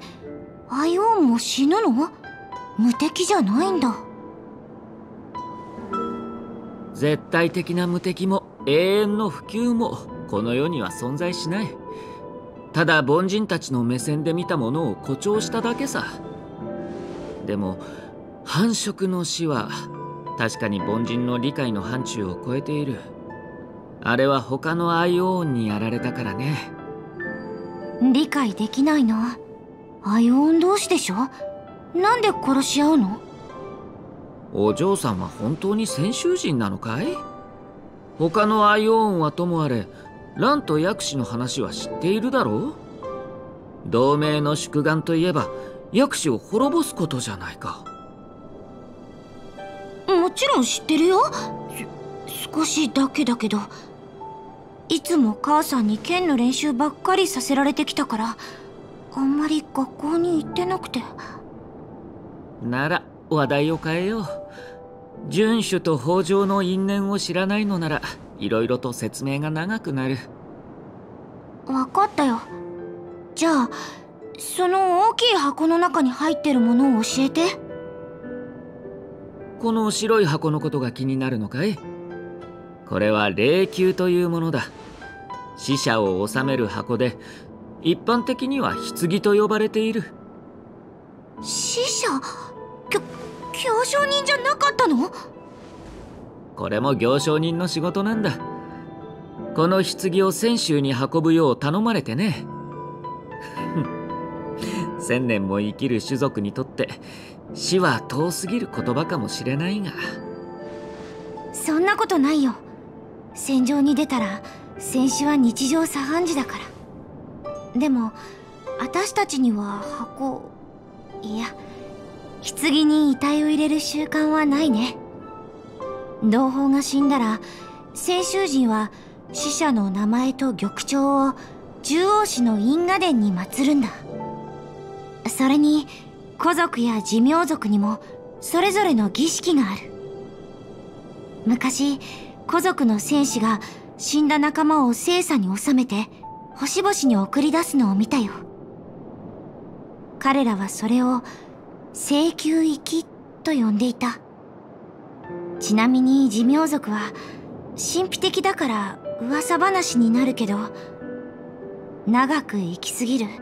もしくは傷を負って瀕死になると真珠のような卵の姿になるって聞いたよ。それから幼児の姿で殻を破って生まれ直すんだって。母さんは寿命族を竜の血族って呼んでる。子供の頃は母さんの話を聞いて寿命族はみんな竜に変化できると思ってたんだけど本当かどうかは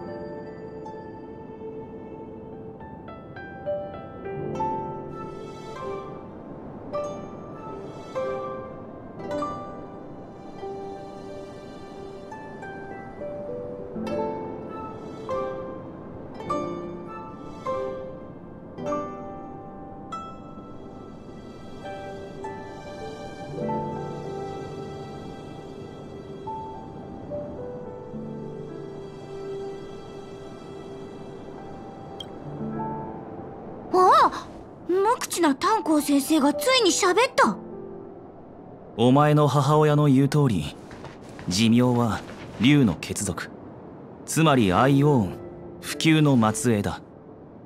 だから竜に変化できる者もいるが誰もが持つ資質ではない。貴重な力ゆえに複雑な儀式と試練を乗り越えた者のみ受け継ぐことができるんだが継承者にとって幸いだとはとても言えない。僕も普及の竜とその末裔の物語を聞いたことがある。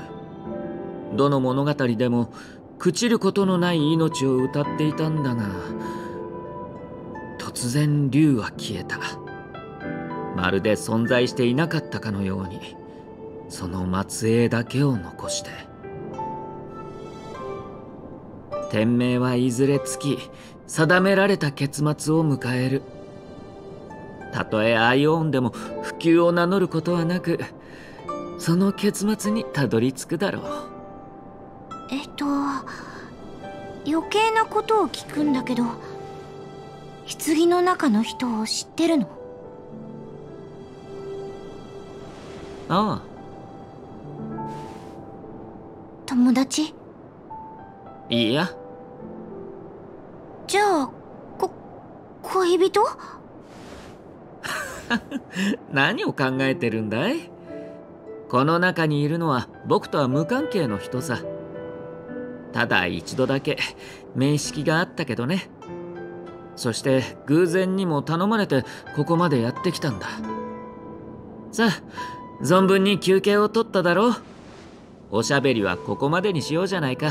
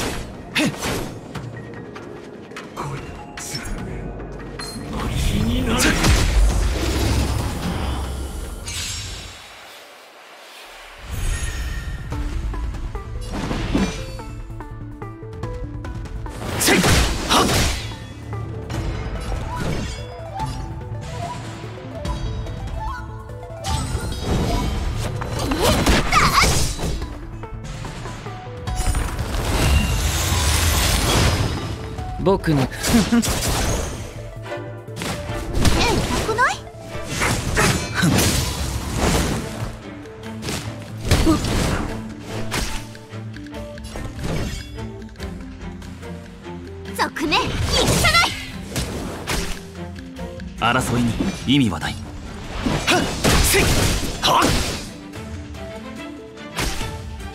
残念。私の凄さは。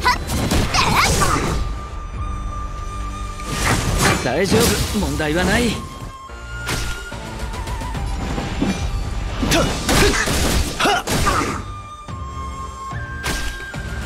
僕の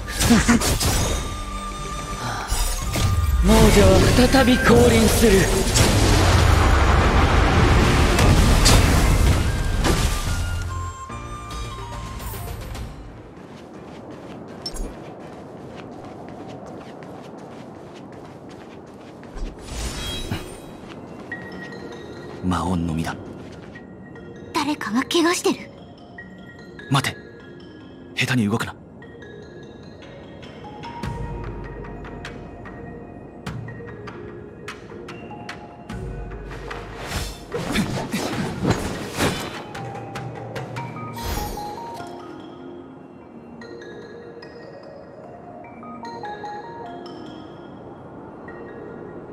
これで万全だ。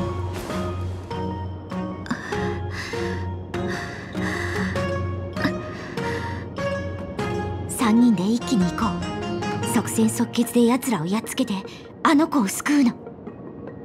お嬢さんに任せていいんじゃなかったのかい？人数が増えればその分強くなるでしょ？お願い。終わったら勇敢な市民賞を送るから。世間話をしている暇はない行くぞ。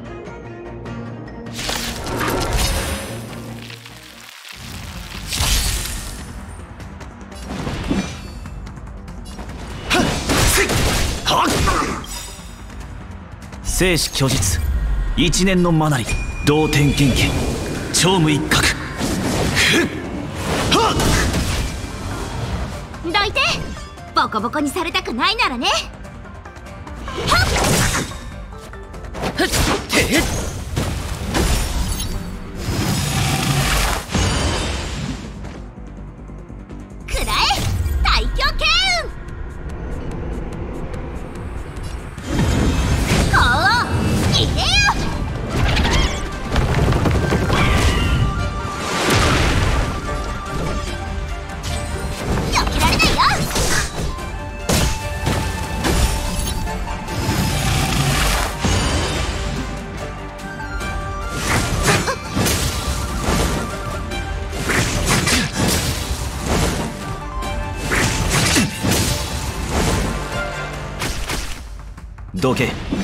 騒ぎを起こしたくはない。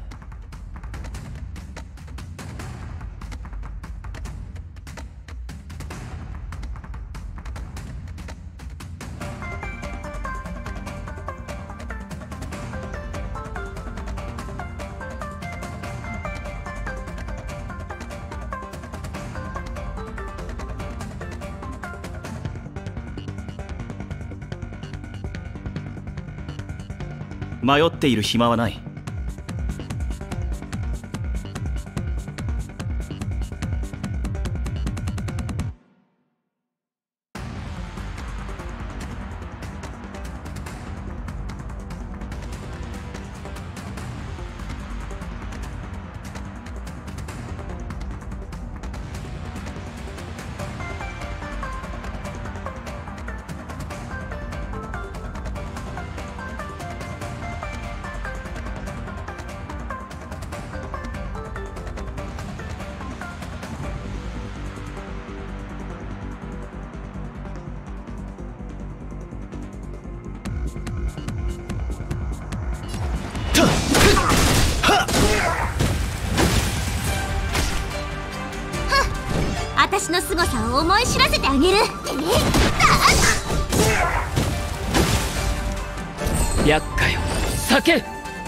心しろ。争いに意味はない。は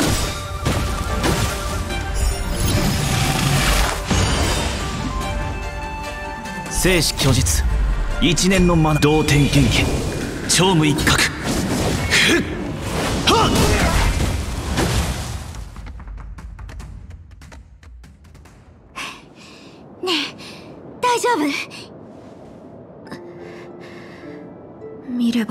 はずですが。あごめん。血が出てないみたいだから平気だろうとは思ったんだけどからくりくぐつだったのか。運動用の長が壊れて動けません。あなたは運気軍の。よかった。すぐに私を地高市に運んでください。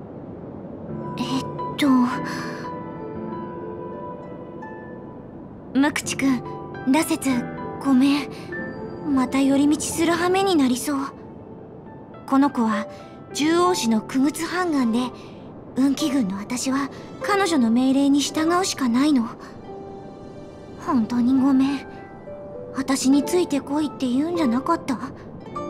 あんたたちだけならもうとっくについていたかもね。僕は医術を少しかじってるんだ。よかったら少し見てみよう。あんたには分かりにくかったね。この子は傀儡なんだ。だから地高市まで送っていかないといけなくて。大丈夫だよお嬢さん。僕に任せてくれ。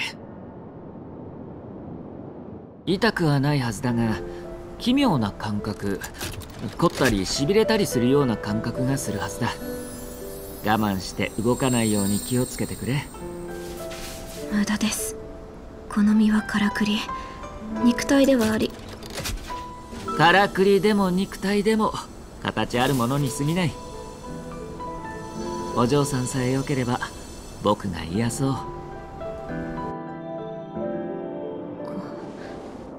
不思議です。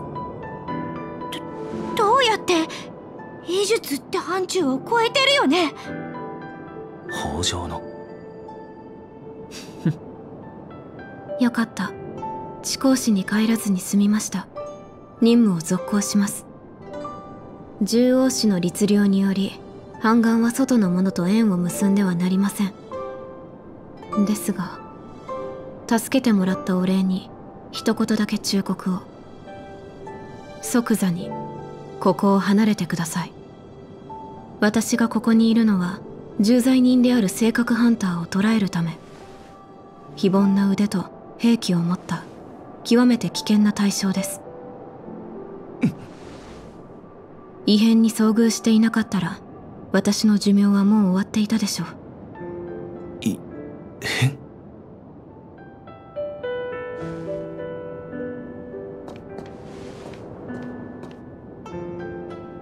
ついてきてください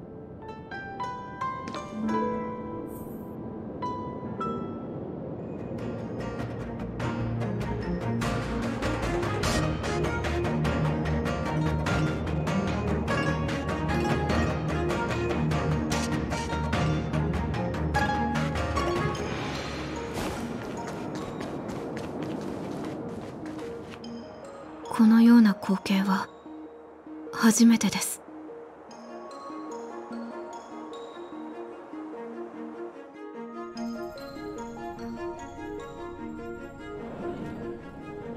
知ってる？たとえ星の神だろうと殺すことはできるのよ。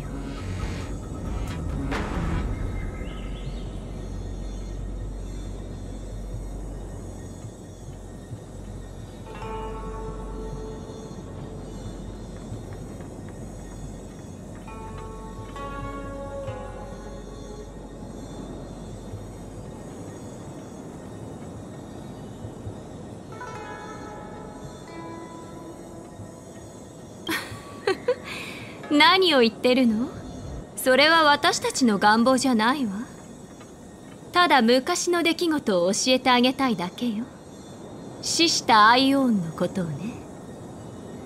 普及の竜準備のイドリラ秩序のエナ繁殖のタイズルスそして開拓のアキビリ。どれもかつては星の海を揺らした名前よ。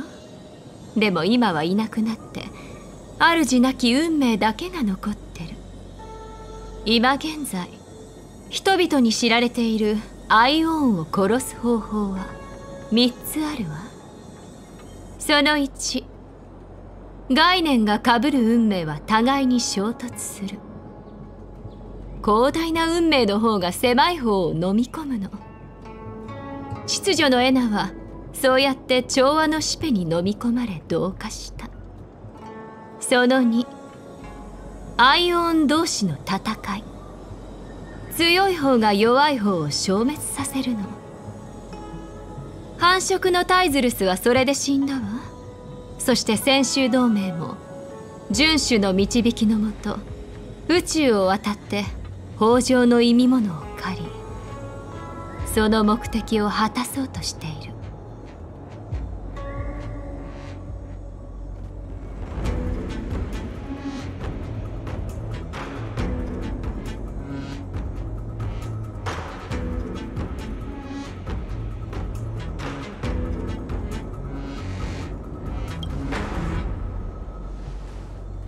さあアキビリの消失には謎が多すぎる。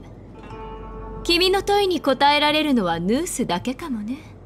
あの機械頭は何でも知ってるから。どうかしら。スリル満点の話だったでしょ。聖堂を歩く人間からは永遠に聞けない話よ。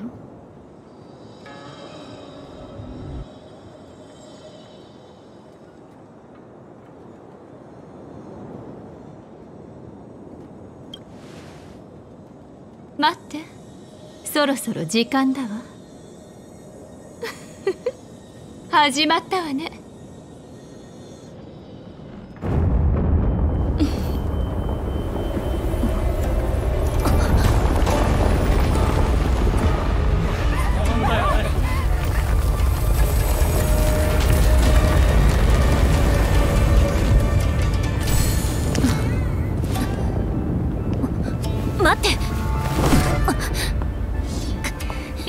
よジンちゃん。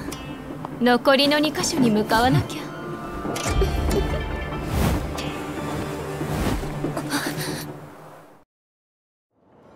カフカが逃げた？まずい。大木に何て言えばいいんだろう。カフカが私に本当のことを言ったのなら大木の方は大丈夫なはず。あんたあの女に洗脳されてるの？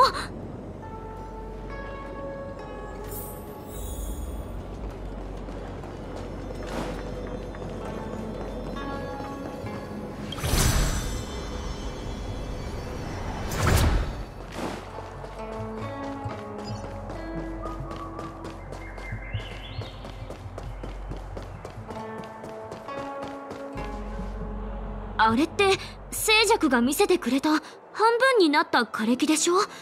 急に成長してるけどおかしいよね。素晴らしい。実に素晴らしい。なんという幸運。たとえ長命種であっても一生見られないような光景です。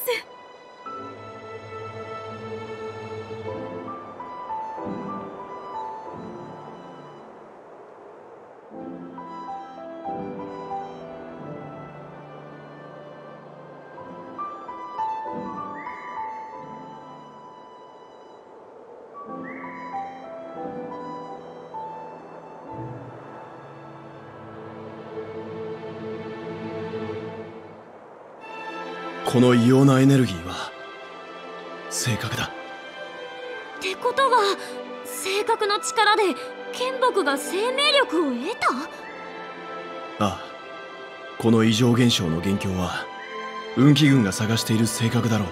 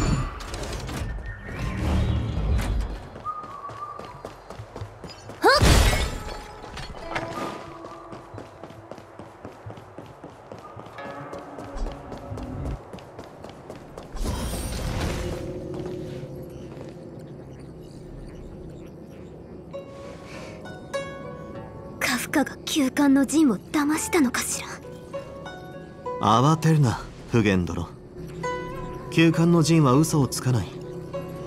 フゲン殿が見たカフカの論理に違和感はなかった。我々はまた一手駒を進められたと言えよう。ラフに外敵がいるのは承知の上だ。性格が突如現れたのもきっと誰かが持ち込んだに違いない。そして内なる敵は北条の民と自称する組織薬王秘伝の他にないだろう。カフカの真実は私の憂いを証明した。お前将軍はいつ気づかれたのですか？初めて性格が姿を現した時だろうか。先週は低級の指名より加護を受けている他のアイオーンの指令でなければ私の目をごまかしラフに潜り込むことはできないだろう。だから外敵と考えたんだ。性格は少々蝕んでいくが幼稚たる新作府と優秀国だけは妙に避けていた。明らかに別の意図があるからだろう。これだけの計画を練られるんだ。ラフの内務に詳しい裏切り者の存在を疑わざるを得なくなる。まあ簡単な推理に過ぎないよ。奴を見て分かったんだ。性格ハンターが糸を引いているわけではないと。ならば奴はどうしてここに来た？請求列車をおびき寄せた理由は？私はこの謎だけは解けないままでいた。だがこうして普賢殿が解いてくれるとは。性格ハンターか。確かに面白い連中だな。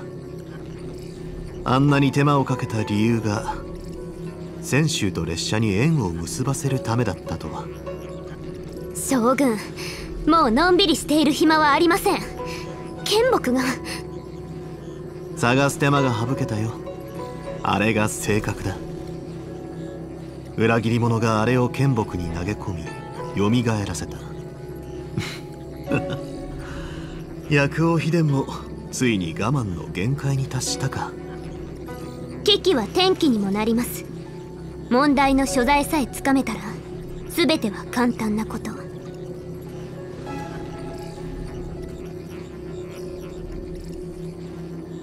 でまた私に策を練れと？ああ。普賢殿ならきっと良策を思いつくだろう。私の意見はこうです。すぐに運気軍を集めて剣木のある同点に向かわせ正確の邪水を払い再生の勢いを止める。ふむふむ。砲丸を持つ普賢殿の意見だ。問題を解決する一番の近道に違いない。だが近道がいつも最適解とは限らない。普賢殿は私が性格のありかを知りながらも兵を動かさなかった理由は何だと思う？将軍。ん？将軍も悪いお人ですね。き ちんと根絶やしにしなければならないからね。あと少しだ。薬王秘伝が今動いたという事実は場を収めた運気軍を見て奴らが焦り出したことを証明している。この木に一網打尽にしなければ。座ったまま待つというのですか？万が一何かあったらどう責任を取るおつもりで？まったく普賢殿私の騎兵を忘れたのかい？性格ハンターが故意に列車と選手を結びつけたなら日照りに雨だ。その行為に甘えようじゃないか。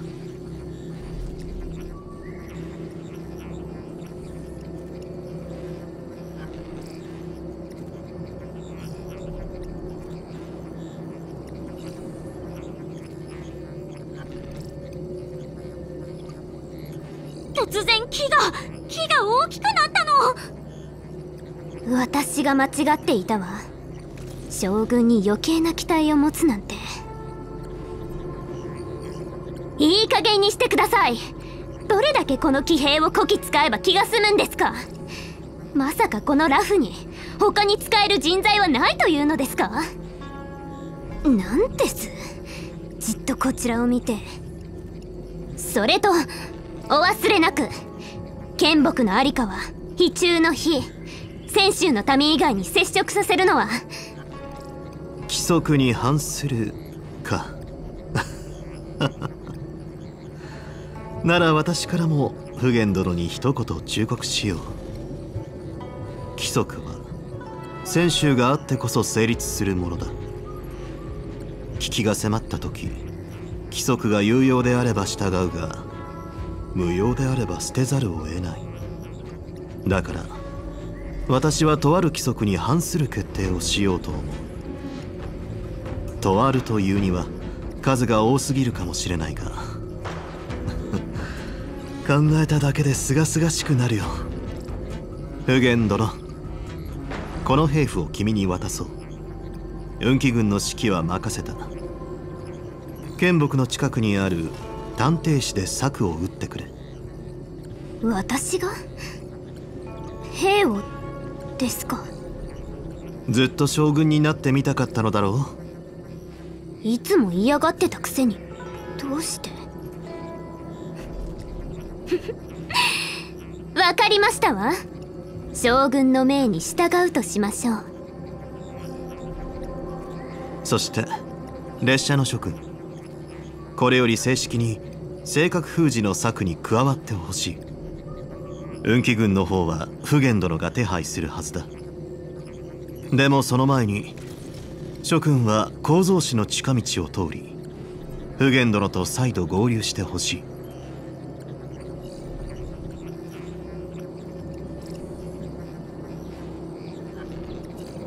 ああわかるわかるとも。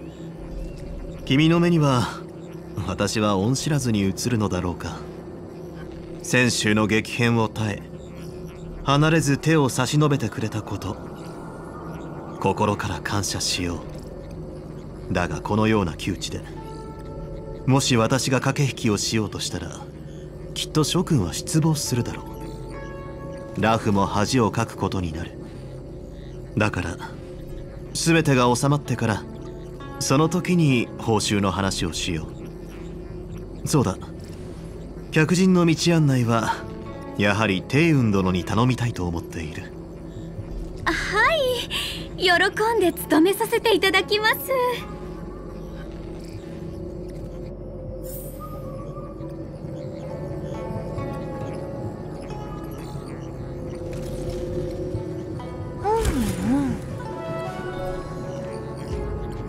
行に才あり利はなしやはり過小に誤りなしのようね。忌々しい。数千年も折れたまま枯れたままの剣木が蘇るとは。先週は善と多難ね。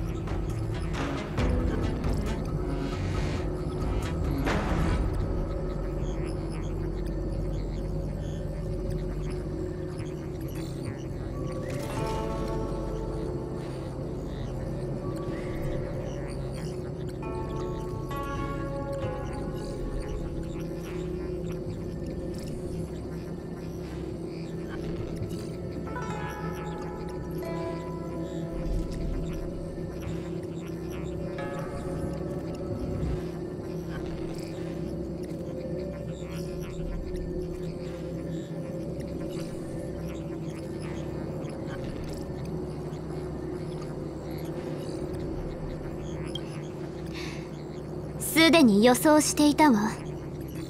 え？怒らないんだ。すでに占い済みで心の準備をしてたみたいだね。カフカを追っても無駄でしょう。休館の陣は彼女の潔白を示しているもの。今重視すべきは剣木よ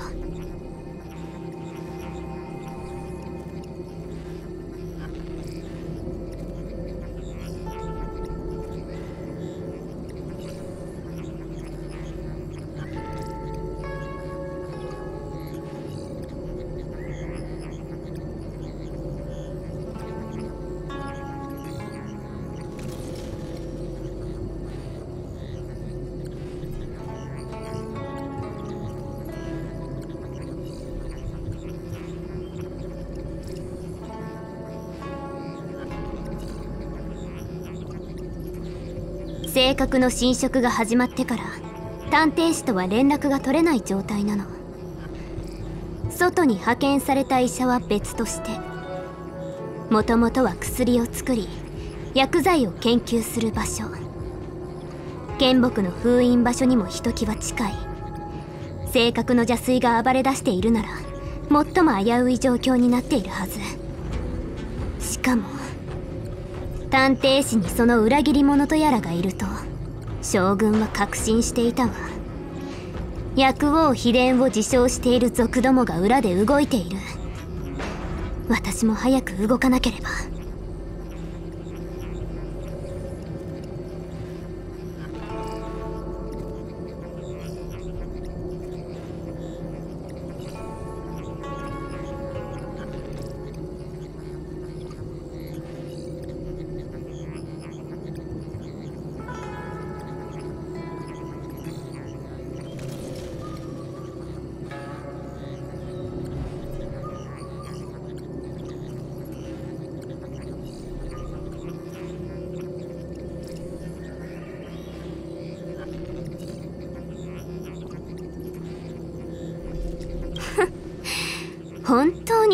使うのが好きね。あそこは探偵士に一番近いからもうめちゃくちゃになってると思うわ。精査はすでに用意してあるから私についてきなさい。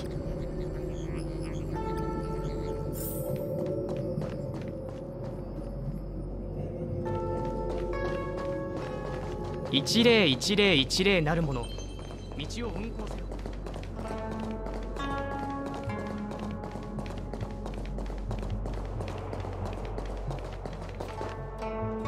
将軍からの請託があるゆえ私はここで失礼するわ。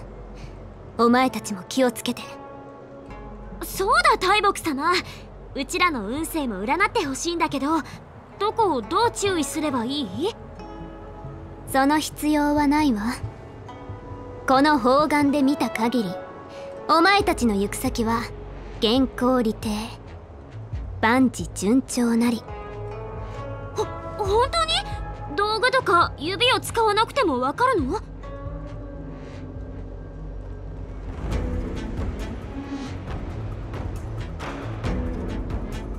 よく言った。普賢さんその言葉に感謝する。さあ行こう。